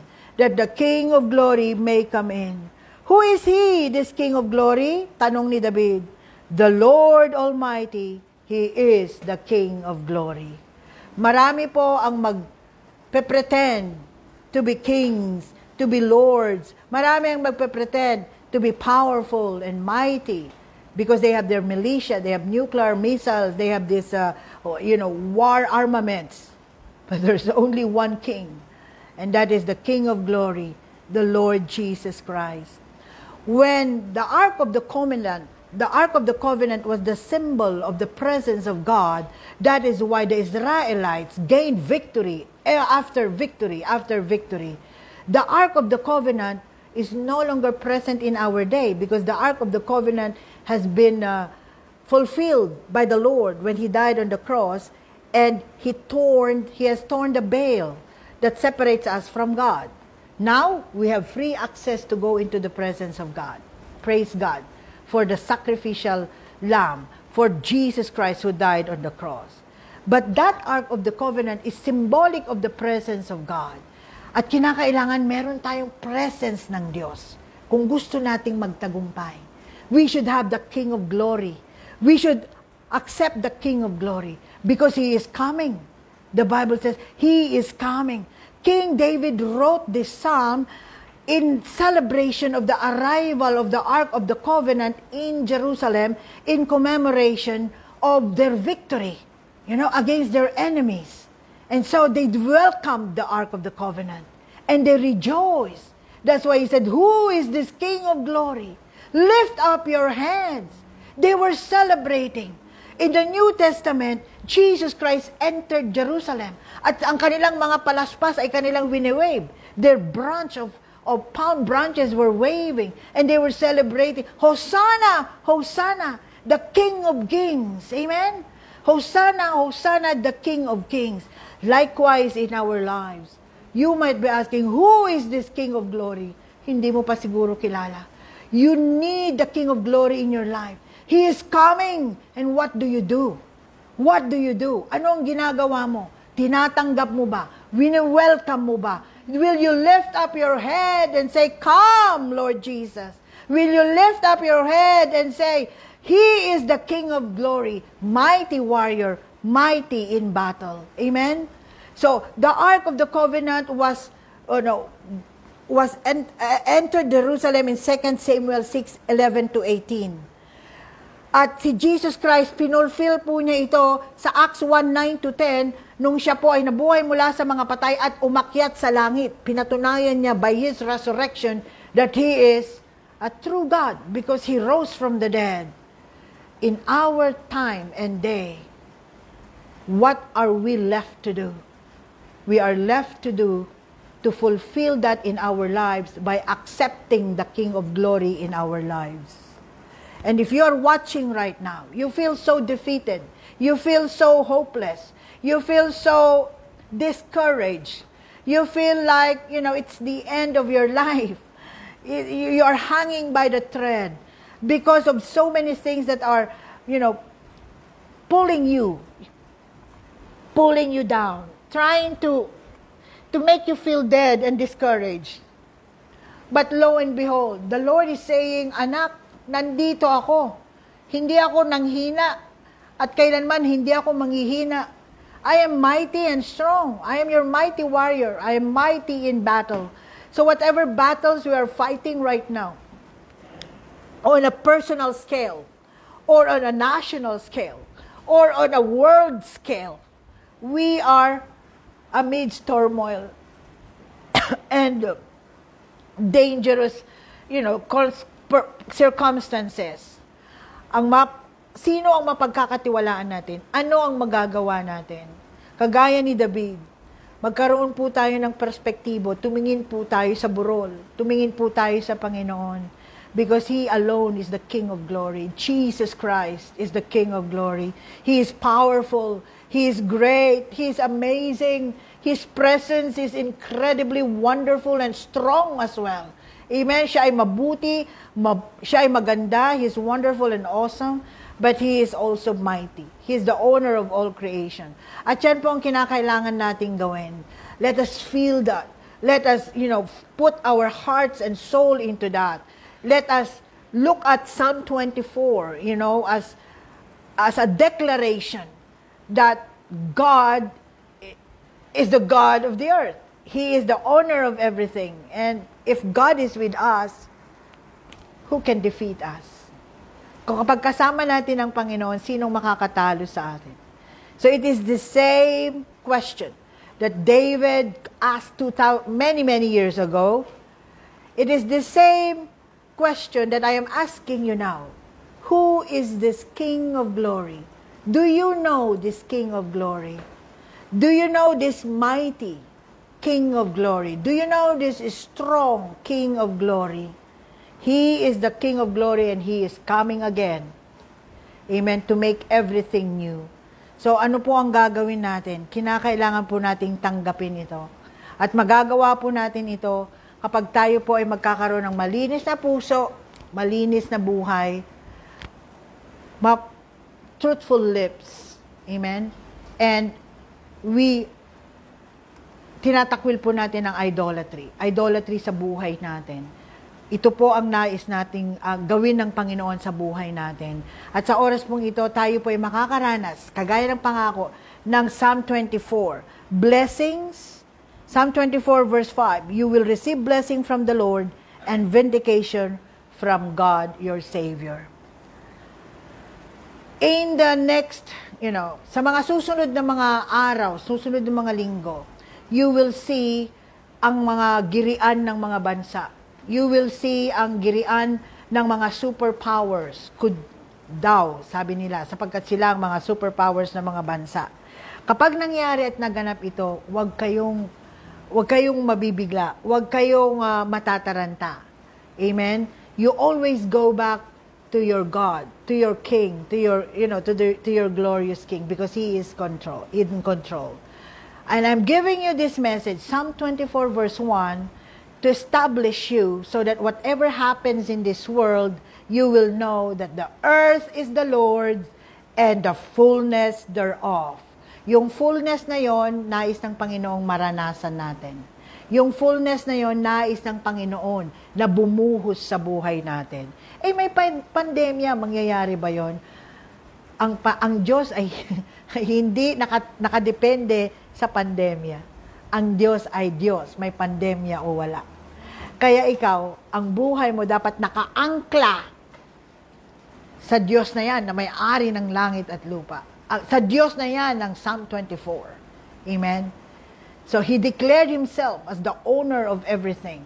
And now he is declaring himself as the King of glory, the mighty warrior, mighty in battle. So whatever battles you are fighting right now, whatever struggles you are having right now, the Lord is your mighty warrior. The Lord is your King of glory. He is mighty in battle and he will fight for you. He promised not to leave you. He promised not to forsake you. So whatever is happening in this world, put your trust in him. Put your faith in him. And he promised blessings will overflow you. Amen. Now, if you don't know yet the King of Glory, if you don't know Jesus Christ in your life, this is the right time. This is the perfect time. And the, those who can accept Him, you know, in their hearts, should have a pure heart, a clean hand, and shuns away idolatry as well as having truthful lips. So sa oras na to, kung ang buhay mo ay hindi pa ganon, nawa ay uh, lumapit ka sa Panginoon sa oras na to at ipagkatiwala mo ang buhay mo at ang pangako niya, pagpapalain ka niya, ipaglalaban ka niya. Siya ang iyong King of Glory. He is your King of Glory. He will fight for you. He will bless you. He will save you. Kaya naman inaanyayahan kita, ipikit mo ang iyong mga mata. Itaas mo ang iyong dalawang kamay. Sabihin mo, Panginoon, naging madumi ako. Ang aking mga kamay ay humawak ng maduduming bagay. Ako ay nagpakalunoy. Ako ay nagpakalunod sa bisyot kasalanan. Ako ay nagpakalunod sa nicotine, alcohol, drugs. Ako ay gumawa ng maraming kalikuan. Ako ay gumawa ng maraming kasalanan. Ako po ay nakipagniig sa hindi ko asawa. I have committed lustful sexual immorality. And so I come to you. Forgive me, Lord. Patawarin mo ako, O Diyos, sa lahat ng mga kalikuan, karumihan, kasalanan na aking nagawa. Nasabi, nabanggit, naisip. Pati na ang aking mga isip, Panginoon. I have a lot of impure thoughts. I have a lot of pornographic, lustful thoughts. Forgive me. I have a lot of depressive, obsessive, suicidal thoughts. Forgive me. Patawarin mo ako, Panginoon. Gayon na rin na ako ay nagsusuko ng aking mga idolatry sa iyo. Isinusuko ko ang aking mga Diyos-Diyosan. Sinusuko ko ang aking pagmamahal sa pera Isinusuko ko ang aking pagmamahal sa aking mga idols, mga celebrities, na aking pinaggugugulan ng panahon, ng pananalapi. Patawarin mo ako sapagkat ako'y nagmahal sa tao. Patawarin mo ako sapagkat inidolo ko ang tao higit sa Diyos. Patawarin mo ako kung ako'y may mga imahe na nakalagay sa altar na aking dinadasalan. Patawarin mo ako kung ako'y may mga imahe na aking pinapanalanginan. Patawarin mo ako kung ako'y nagdadala ng mga kandila, mga bulaklak at inaalaya ng mga imaheng ito. Patawarin mo po ako sa aking pagsamba sa Diyos-Diyosan. Patawarin mo po ako kung ako naging panatiko sa relihiyon at hindi naging panatiko sa Diyos. Patawarin mo po ako, Panginoon, kung ako'y sinungaling na tao Buka na ng bibig ko ang pagsisinungaling. Patawarin mo po ako kung ako hindi naging totoo at hindi naging tapat sa aking asawa, sa aking pamilya, sa aking mga mahal sa buhay. Patawarin mo po kung ako'y nagsinungaling sapagat hindi ako naging tapat sa aking Diyos. Patawarin mo po ako sa lahat ng aking kasalanan, rebellion, sa lahat ng aking kasinungalingan, pandaraya, patawad po, Panginoon. At sa oras na to, binubuksan ko ang aking puso. Tinatanggap kita, Panginoong Jesus. Pumasok ka sa aking buhay. Ikaw ang aking maging Diyos. Ikaw ang aking maging Panginoon. Ikaw ang aking maging Hari. Jesus, my King of glory, come into my life. Forgive me from all unrighteousness, from all sins and iniquities, from all disobedience, from all lustful thoughts and immoral acts. Forgive me for my lying. Forgive me for my idolatry. Forgive me for everything that I have done that has offended you. Forgive me, Lord. And today, I accept you as my personal Lord, God, Savior, and King. In Jesus' name, Amen. If you have prayed that prayer from your heart, you have received Jesus, the King of glory. At kasabay noon ay ang pagpapala. Ang kasabay noon ay ang tagumpay. Kasabay noon ay ang blessing.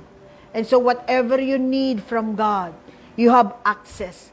God is able and willing to give it to you. And so tell it to God, whatever you need from God right now. Come on, just declare it. Just ask for it. Yes, hallelujah. Yes. The earth is the Lord and the fullness thereof.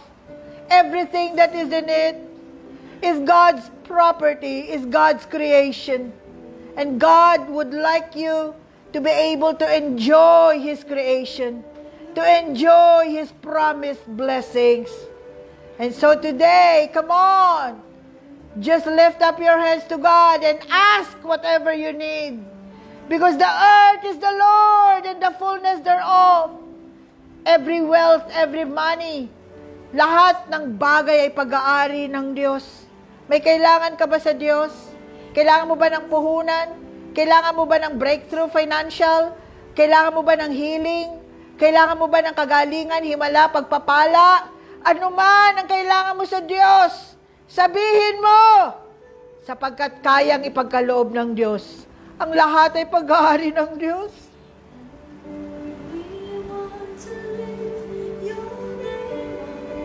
Hallelujah. And Lord, we, yes,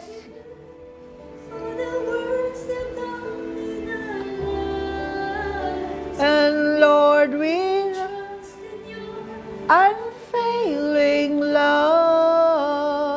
Hallelujah, Lord. Yes, oh God. Yes, bless your people. Yes, in the name of Jesus. Who is this King of glory? The Lord Almighty is His name. Jesus is His name. The mighty warrior, mighty in battle, strong, powerful, amazing, wonderful. He is your healer. He is your Savior. Receive in the name of Jesus. Receive whatever you need from God. Because the earth is the Lord and the fullness thereof. Come on. Just worship Him, bless Him, thank Him.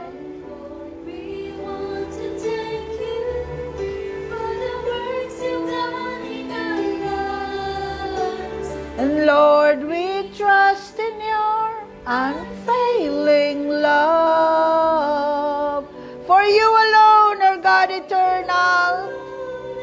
God eternal,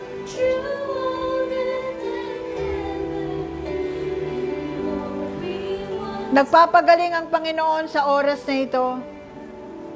Lahat ng mga sakit karamdaman, anuman ang iyong pinagdaraan ng mabigat na laban, problema ng buhay, dumarating ang tulong ng Diyos. Tanggapin mo sa pangalan ni Jesus. Sa oras na to, ang Panginoon ay kumikilos, gumagalaw sa lahat ng bansa. Walang anumang bansa na hindi may papasa ilalim sa kapangyarihan ng Panginoon. At ang Panginoon ang siyang magtatanggol sa atin ang sabi ng Panginoon, The earth is the Lord and the fullness thereof. For He has established it upon the seas. He has established it upon the waters, upon the rivers. everything, lahat ng bagay ay pag-aari ng Panginoon. Hallelujah. Yes, oh God.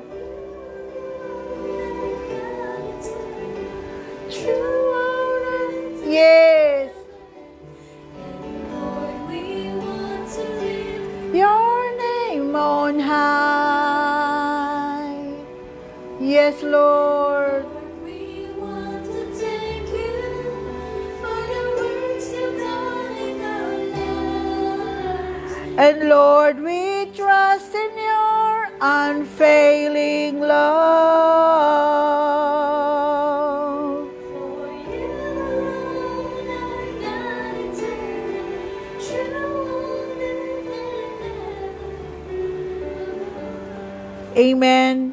Sa oras pong ito, ida, i, uh, we will just, uh, isasabay na po natin for healing. Hindi pa po ako nag-pray kanina ng healing because we will have Holy Communion after we have uh, declared that the earth is the Lord and the fullness thereof. Ang Panginoon po ay uh, handa po tayong i-bless sa lahat ng ating pangangailangan, financial, but as well as physical. Kaya po, in time for uh, the Holy Communion, I will just like to read 1 Corinthians 11, 23 to 26. For I have received from the Lord what I also passed on to you. The Lord Jesus, on the night he was betrayed, took bread when he had given thanks. He broke it and said, This is my body, which is for you. Do this in remembrance of me. In the same way, after supper, he took the cup, saying, This cup is the new covenant in my blood. Do this whenever you drink it in remembrance of me. For whenever you eat this bread and drink this cup, you proclaim the Lord's death until he comes. 1 Corinthians 11 23 to 26. These are the elements of Holy Communion. The bread is a symbol of the body of Jesus which was crucified on the cross. Ang tinapay po ay simbolo ng katawan ng Panginoon na nabugbog at nabayubay sa krus ng Kalbaryo. Ang sabi po doon sa ating binasa, This is my body which is for you. Do this in remembrance of me. We are doing this to remember and commemorate the sacrifice of the Lord when He gave His life on the cross for the forgiveness of our sins, for the healing of our bodies. And so, if you are in your homes, wherever you are in this world, this is a holy ordinance that we are asked by the Lord to do. Do this in remembrance of me. Kaya nasaan ka man ngayon, kumuha ka ng tinapay. Ano mang klase itong tinapay, sapagkat ito lamang ay isang simbolo. Hindi po ito ah, katawan ni Kristo, kundi ito po ay simbolo lamang ng katawan ni Kristo. Kaya nasaan ka man ngayon, kumunta ka sa kusina mo, kumuha ka ng bread, kumuha ka ng skyflakes, whatever symbol that you can take as a symbol of the body of Christ that was bruised and hang on the cross for your sins and for my sins. And let us have this communion that as we take this bread, symbolically we are accepting what the Lord has done on the cross. And the Bible says, by His stripes we are healed. By His wounds we are healed. Sa mga latay ni Jesus, tayo ay magaling na. Sa mga sugat ni Jesus, tayo ay magaling na. Kaya kung ikaw ay may sakit karamdaman, ikaw ay nasa Canada, Australia, nasa ang lugar ka man ng mundo, kumuha ka ng tinapay kapatid. At alam ko na sa oras na to, dakilang bagay ang mararanasan mo, dadaloy ang himala ng kagalingan sa iyong katawan. Habang iyong kinakain ang tinapay ay dadaloy ang himala ng kagalingan. The miracle of healing will flow upon your body because by the stripes of Jesus, by His wounds, we are healed.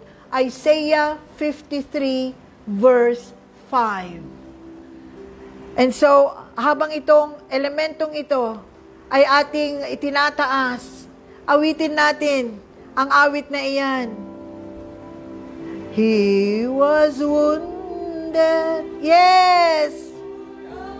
Yes. Transgression. He was wounded for our transgressions. For our iniquities.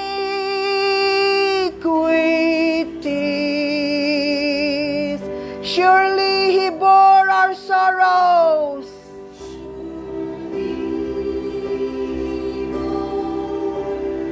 Our sorrows.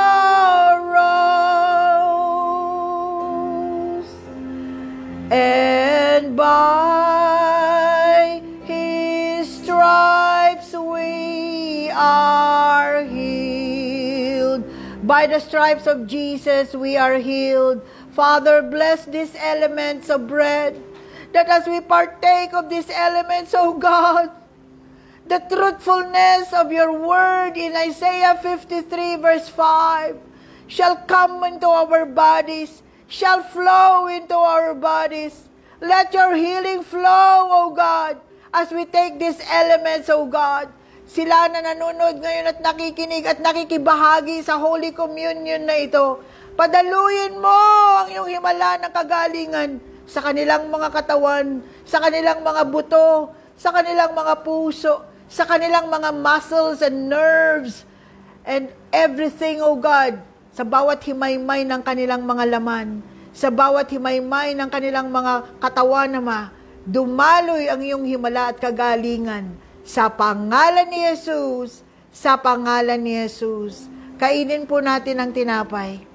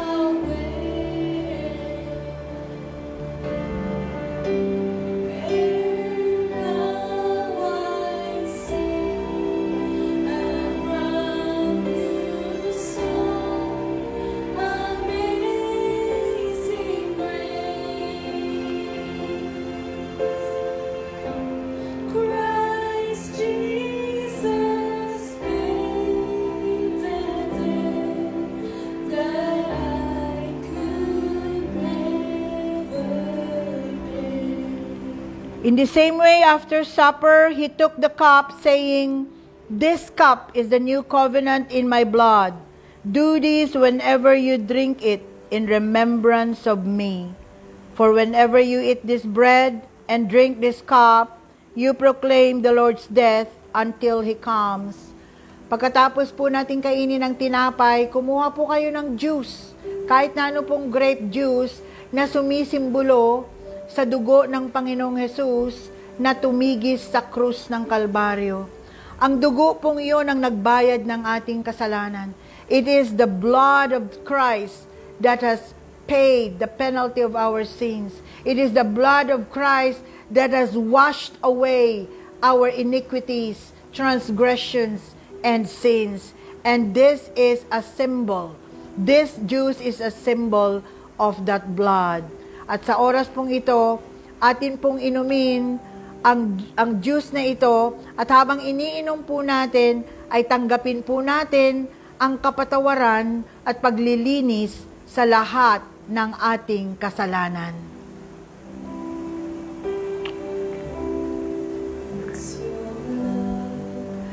That cleanses me. It's your blood that gives me life.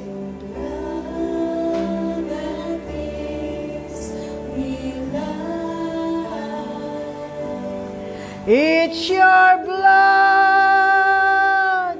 that took my place in redeeming sacrifice.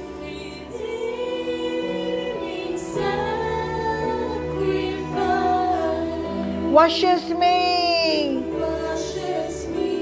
whiter than the snow.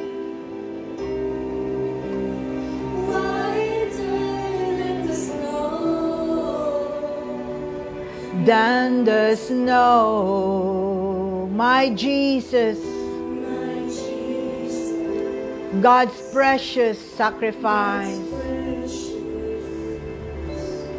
sacrifice. Pasalamatan mo ang Panginoon, ikaw ay magaling na. Pasalamatan mo ang Panginoon, ang iyong sakit ay wala na. Pasalamatan mo ang Panginoon sapagkat nilinis ka na niya ng kanyang makapangyarihan at banal na dugo.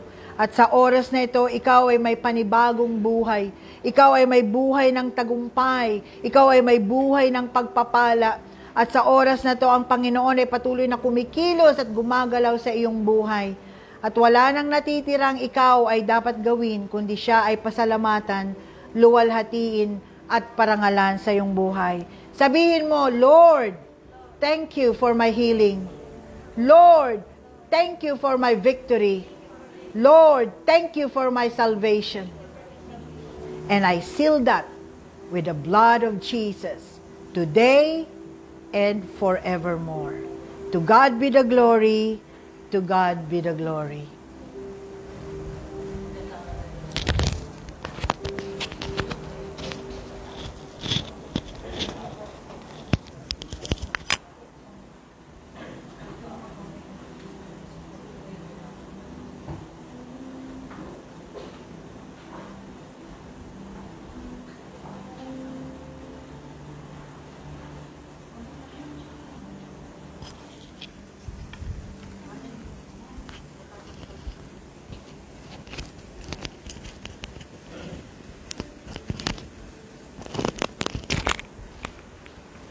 Amen. Hallelujah. Praise be to God. Amen. Palakpakan po natin ng Lord sa napakagandang mensahe na ibinaba niya sa araw at oras na ito. At ngayon po ay dadako na tayo sa ating pagbibigay ng ating tithes and offering. Mga kapatid, maaring sabihin natin, pandemic ngayon, but still, bakit nga ba tayo nagbibigay? Amen po. Bakit patuloy tayong nagbibigay? Ang sabi po ng ang sabi po ng Matthew 22 verse 37 and to 39, love the Lord your God with all your heart, soul, and mind. And next, love your neighbor as yourself. So, kung bakit po tayo ay nagbibigay palagi, tuloy-tuloy po tayo nagbibigay kasi nagmamahal po tayo sa Diyos. Amen po. Nagmamahal po tayo sa ating kapwa. Lalo pa nga po sa ating kapwa na hindi pa ligtas. Amen. At ano po yung ating ibinibigay mga kapatid? Tinuruan po tayo ng Malakay 3, 8 to 12 na ibigay po ng buo ang ating tithes and offering. At ipinangako din doon ng Lord, kung atin pong ibibigay ito, ay masagana rin po ang kanyang pagpapala sa mga buhay natin. Ibubuhos niya, bubuksan niya ang mga durungawan ng langit, ibubuhos niya ang masaganang pagpapala nang wala, na walang sukat di kalagyan. Amen? So napakabuti po ng ating Panginoon. At tayo po ay nagbibigay para kanino po? Para po ba sa Lord? Nagbibigay po tayo para tayo rin po ang makinabang. Sa ating pagbibigay, sinabi po ng, ng Lucas 6.38, ikaw ay magbigay, hustong takal, siksik, liglig at umaapaw. Ikaw ay magbigay at ikaw ay bibigyan din naman hustong takal, siksik, liglig at umaapaw. Amen. So kung bakit tayo nagbibigay, kasi mahal natin ng Lord, mahal natin ng ating kapwa. At kung tayo ay nagiging masunurin niya po sa ating pagbibigay, sinusunod natin ang ang Malakay 3, 8 to 12, pangako po ng Lord doon ay masaganang pagpapala. Amen po. Masaganang pagpapala na tayo pong nagbibigay ang magkakamit nun, ang makakaranas nun. Amen po. So, ngayong panahon ng pandemic, hindi na po bago to eh. Dahil alam po natin na tayo mga Kristiyano na nagbabasa ng Biblia, ng mga kasulatan ng Diyos, alam po natin na dumaranas talaga sila ng mga pagsubok. Dumaranas sila ng mga pandemic na katulad ng nararanasan natin ngayon.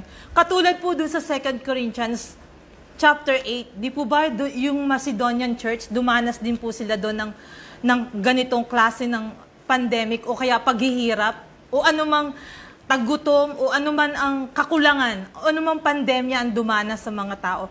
Pero doon sa Macedonian church, sila po ay kusang loob, buong puso. May pusong punong-puno ng kagalakang nagbibigay. At higit pa nga po ang kanilang ibinibigay. Amen. Higit pa sa kanilang makakayanan ay ibinibigay nila sa kanilang church. Bakit po tayo nagbibigay? Kasi mahal po natin ng Lord at mahal po natin ng ating kapwa, lalo na nga po ang mga hindi paligtas. Amen. So mga kapatid, ngayong panahon ng pandemic, hindi po hadlang para hindi po natin maibigay ang ating tithes and offering. Through GCash, through uh, bank transfer, nandyan po ang BPI.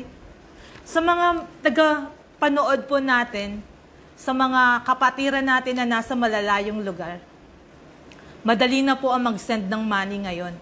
Kung nais niyo po maging kabahagi ng iglesyang ito, ng totoong iglesia na tinawag ng Lord, at ginagamit sa huling kapanahonan na to, magbigay po tayo ng tithes and offering. O ano man ang hinihingi ng Lord sa atin. Kung ito po ba ay first fruits, hinihingi ng Lord sa atin, ibigay po natin. Kagaya nga po ng mensahe, di po ba? Ang lahat ng bagay ay sa Diyos. So ano kinakatakot natin na mawala sa atin? Eh ang Diyos ng ating pinagtitiwalaan ang may ang may-ari ng lahat ng ito. So paano tayo mag-aalala para hindi natin ibigay ang ating tithes and offering? Amen. Alam natin na ang Diyos natin ay makapangyarihan at kayang gawin ng lahat para tayo ay pagpalain. Maraming pangako ang Lord sa atin. Nung tinanggap natin si Christ bilang Lord God and Savior ng buhay natin, tinanggap natin ang buhay na walang hanggan, tinanggap natin ang kagalingan. Amen? So, ano bang problema natin mga kapatid? Wala na po tayong problema. Kung ang Lord ang ating sinasandigan sa lahat ng oras, kung ang Diyos ang ating pinagtitiwalaan ng ating mga buhay, anumang pandemic ang dumating sa buhay natin, alam nating may Diyos at ang Diyos ang tutugon sa lahat ng ating mga pangangailangan. Sabi nga po ng Matthew 6.33, Amen? Uunahin natin ang Diyos, hindi ang ating paglalaba. Uunahin natin ang Diyos, hindi ang panonood ng walang kwenta. Uunahin natin si Lord na ibigay sa Kanya ang ating tithes and offering. Sunod ang ating mga pangangailangan. Amen po ba? So mga kapatid, sabi ng Galatians 6.9, Let us not become weary in doing good. For at the proper times we will reap a harvest if we do not give up. So, ano po ang nais ng Lord? Huwag tayong susuko. Ano man ang buhay natin ngayon. Ano man buhay to. Kami nga po, close kami ng two weeks. But, thank you Lord. Kasi, ang asawa ko at ako, parang nawili kaming umawit sa Lord. Kahit hindi maganda yung boses ko. We want to praise God. Hindi ko alam nire-record ng asawa ko. Pinupost pa. So, sorry sa mga naka-dislikes. But, thank you sa mga nag-likes. And thank you, Lord, kasi nilagay ng Lord sa puso namin ang buong pagtitiwala namin sa Kanya. Amen? So, let us not become weary in doing good. For at the proper times, proper time, we will reap a harvest if we do not give up. So magbigay po tayo, patuloy po tayo magbigay ng tithes and offering at kung ano po ang hinihingi ng Lord sa atin. Whether it is sacrificial giving, or love gifts sa man of God, or first fruits, o pangsuporta sa lahat pa ng ating mga pangangailangan ng iglesyang ito. Amen po. Sa ating pagbibigay, alam po natin na wala pong nasasayang. Wala pong wala pong hindi napapakinabangan kung dito po sa iglesia ng Diyos natin ito ibibigay. Amen. Hindi po nawawalan ng kabuluhan ang lahat ng ating pera. Tayo po ay patuloy na may radio, nagpapatuloy ang ating live streaming at nakakatuwa nga po. Sa panahon ng pandemya, dumarami po ang ating gawain. Amen? Amen? At patuloy po tayong nagtitiwala sa Lord na si Lord ang bahala sa atin. Obedience and faith, blessings po yon para sa ating lahat. So mga kapatid, walang dahilan para hindi po tayo magbigay. At sa ating pagbibigay, huwag po natin kalilimutan ang mga tagapagturo. I-bless po natin sila. Lagi silang parte ng ating mga blessings. Lagi po silang kabahagi ng ating ah, mga pagpapala. Kung ano man ang meron tayo. Kasi God knows our heart. Amen. Alam ng Lord kung ano yung laman ng puso natin. At alam ng Lord na masaya tayo na nagbibigay sa kanyang iglesia at tumutugon din naman sa kanyang mga lingkod. Amen. Sa patuloy nilang pangangaral sa pagtuturo sa atin, anuman ang buhay natin ngayon, may trabaho man tayo o wala, but still, hindi tayo nagugutom at masarap pa nga ang ating kinakain. At masarap pa nga ang buhay natin kasi hindi tayo pagod. Amen. But, salamat sa Panginoon kasi siya po ang siya po ang may dahilan ng lahat ng ito. Sa ating pagmamahal sa Diyos, sa ating pagmamahal sa ating kapwa, sa ating pagbibigay ng tithes and offering, sa pagtugon natin sa pangangailangan ng iglesia, ng mga lingkod ng Diyos, tayo po ay pagpapalain ng Diyos. So mga kapatid, tayo po ay magbigay. Tuloy-tuloy. Amen po. Tayo po ay manalangin para po sa ating mga kaloob. Hallelujah. Father God, Panginoon, maraming marami pong salamat sa iyong mga salita. Sa iyong mga salita na patuloy, Lord, na aming pinapanghawakan, lalo na nga po, O Diyos, sa mga panahon na to. Marami po, O Diyos, ang mga walang trabaho. But still, Father God, we know you, Lord, that you are our God who do everything for us. Hindi mo kami pababayaan, hindi mo kami lilimutin, hindi mo kami gugutumin. Ibibigay mo, O Diyos, sa amin ang lahat ng aming pangangailangan. Lord, dahil mahal mo kami. Ikaw nga po, O Diyos, ang unang nagmahal sa amin, Panginoon. Kaya, dapat rin naman, O Diyos, kami ay magmahal sa iyo at sa aming kapwa. Maraming maraming salamat, Panginoon, sa mga tithes and offering na ipinagkakaloob, Panginoon, ng aming mga kapatid. Patuloy, Lord, na pagpalain mo ang bawat isa, Panginoon, anuman ang trabaho, maliit man ang negosyo, malaki man ang negosyo, anuman, O Diyos, ang ginagawa ng aming mga kamay, Lord. Hindi po hadlang, Panginoon. Ito po ay iyong pagpapalain, Panginoon. Ibi-bless mo kami, Panginoon. Ayon niya po, Lord, sa iyong mga pangako. Kung kami magiging tapat lamang na ibibigay namin ang aming tithes and offering, Panginoon. Kami ay pagpapalain mo higit pa kaysa aming mga inaasahan. Maraming maraming salamat, Ama, at dalangin ko mga po, Panginoon, na patuloy mo, Lord, na kami ay pagpalain anumang panahon ito, O Diyos, sa anumang paraan. Ikaw po ay gumagawa para kami ay pagpalain. Maraming maraming salamat, Ama. Patuloy mo kaming um, pagi, patuloy mo kaming um, naka-stay lamang, nakapuko, naka-focus lamang ang aming mga puso at isip sa iyo. Na nagtitiwala lamang at dumadalangin lamang sa iyo, umaasa lamang sa iyo, Panginoon. Maraming maraming salamat po, O Diyos, sa iyong mga sa iyong mga pagpapala, Panginoon. Patuloy mong paramihin ito para sa amin, Panginoon, at kami rin, Panginoon, para sa aming kapwa at para sa iyong iglesia. Lord, maraming maraming salamat. Ibinabalik po namin sa iyo, O Diyos, ang lahat ng papuri at pagdakila at pagsamba sa tanging pangalan ni Jesus. Amen at Amen.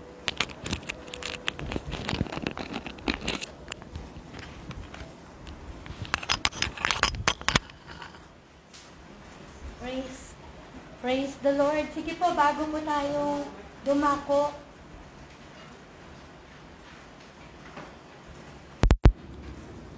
Praise God. Sige po, bago po tayo dumako sa ating pangwakas na panalangin, muli magdeklara muna tayo ng awit ng katagumpayan sa araw na ito sa ating mga nakamit na pagpapala, kagalingan, kalusugan, kayamanan mula sa Panginoon. Hallelujah! Idilang ideklara namin ang araw na ito ay tagumpay at ang susunod pang mga araw ay matagumpay sapagat ang Diyos ay mabuti sa ating mga buhay. Hallelujah! Napakabuti mo, Panginoon! Napakabuti ng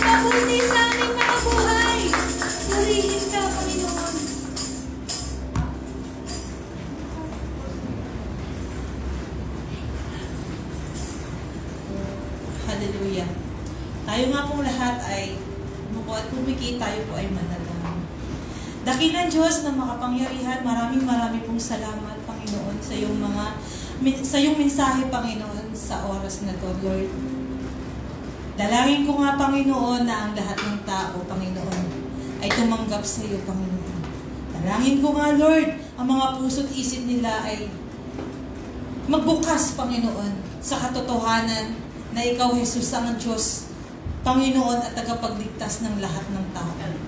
I pray, Father God, na mahinto na, Panginoon, ang pandemic na ito, Lord God. I pray, Lord, na tanggapin talaga ng totohanan sa kanilang puso't isip, Panginoon, si Kristo na aming tagapagligtas. Dahil alam namin, Lord, kung si Jesus ang aming Diyos, kami ay tagumpay sa lahat ng laban. Kami ay victory, Panginoon. Laging tagumpay, O Diyos. Kaya nga po, Lord, dalangin ko, Panginoon, maabot ng iyong mga salita ang lahat ng tao, Panginoon. Kilalanin nila ang totoo. Alisin mo, Lord, ang kanilang kabulagan sa katotohanan, Ikaw lamang, Jesus, ang aming kailangan. Wala na pong iba, ka. Maraming maraming salamat, Ama, at patuloy, Lord, na hindi na mawala sa aming puso't isip ang iyong mga salita. Sa lahat ng oras, Lord, ay salita mo, Lord, ang aming nilalakaran, Lord. Maraming maraming salamat, Panginoon, sa mga lingkod mo na nagpapatuloy, anumang panahon, tuloy-tuloy ang pangangaral. Patuloy mo silang palakasin, Panginoon. Palusugin ang kanilang mga pisikal na pangangatawan, O God. At i-provide mo, Lord, ang lahat pa nilang pangangailangan sa pag-aaral ni Josh, ni Joseph, ni J.I., Lord. Ikaw po, Lord, ang mag-provide. Father God, I pray, patuloy nga, Lord, na kami manatili lamang na nag-itiwala sa iyo, Lord. I-bless mo po, Panginoon, ang iyong mga likod ng higit pa kaysa dati, Panginoon. At i-bless mo po, Lord, ang lahat ng tagapakinig, Panginoon, at nanunood ng ministeryong ito, ng gawain ito, simula pa po kaninang umaga. Ang aming mga kapatiran na, mala- na malalayo, Panginoon, patuloy mo silang i-bless, pagpalain na naman po, Lord, ang kanilang kalagayan sa panahong ito, Lord. Nandyan ka, tumutulong sa kanila. Maraming maraming salamat, Ama, at patuloy, Lord, na kami mamumuhay, na may malinis na puso, isip, malinis na buhay, hindi sasamba sa mga Diyos-Diyosan, Panginoon. Sapagat ang aming Diyos ay buhay. Buhay na buhay sa aming mga buhay at nagpapatuloy na kumikilos at gumagawa ng mga kadakilaan, Panginoon, sa aming mga buhay. Maraming maraming salamat po, Diyos. Ingatan mo po ang aming mga pamilya. Ingatan mo po ang mga kapatid, Panginoon. Ingatan mo po ang bawat isa at iligtas, Panginoon. Hallelujah! Maraming maraming salamat, Panginoon. Wala po kaming masabi kung hindi. Salamat, Lord. Maraming maraming salamat sa iyo, Panginoon. Sa iyo po ang aming pagdakila, pagsamba at pagpasasalamat, O Diyos. Sa tanging pangalan ni Jesus. Amen at Amen.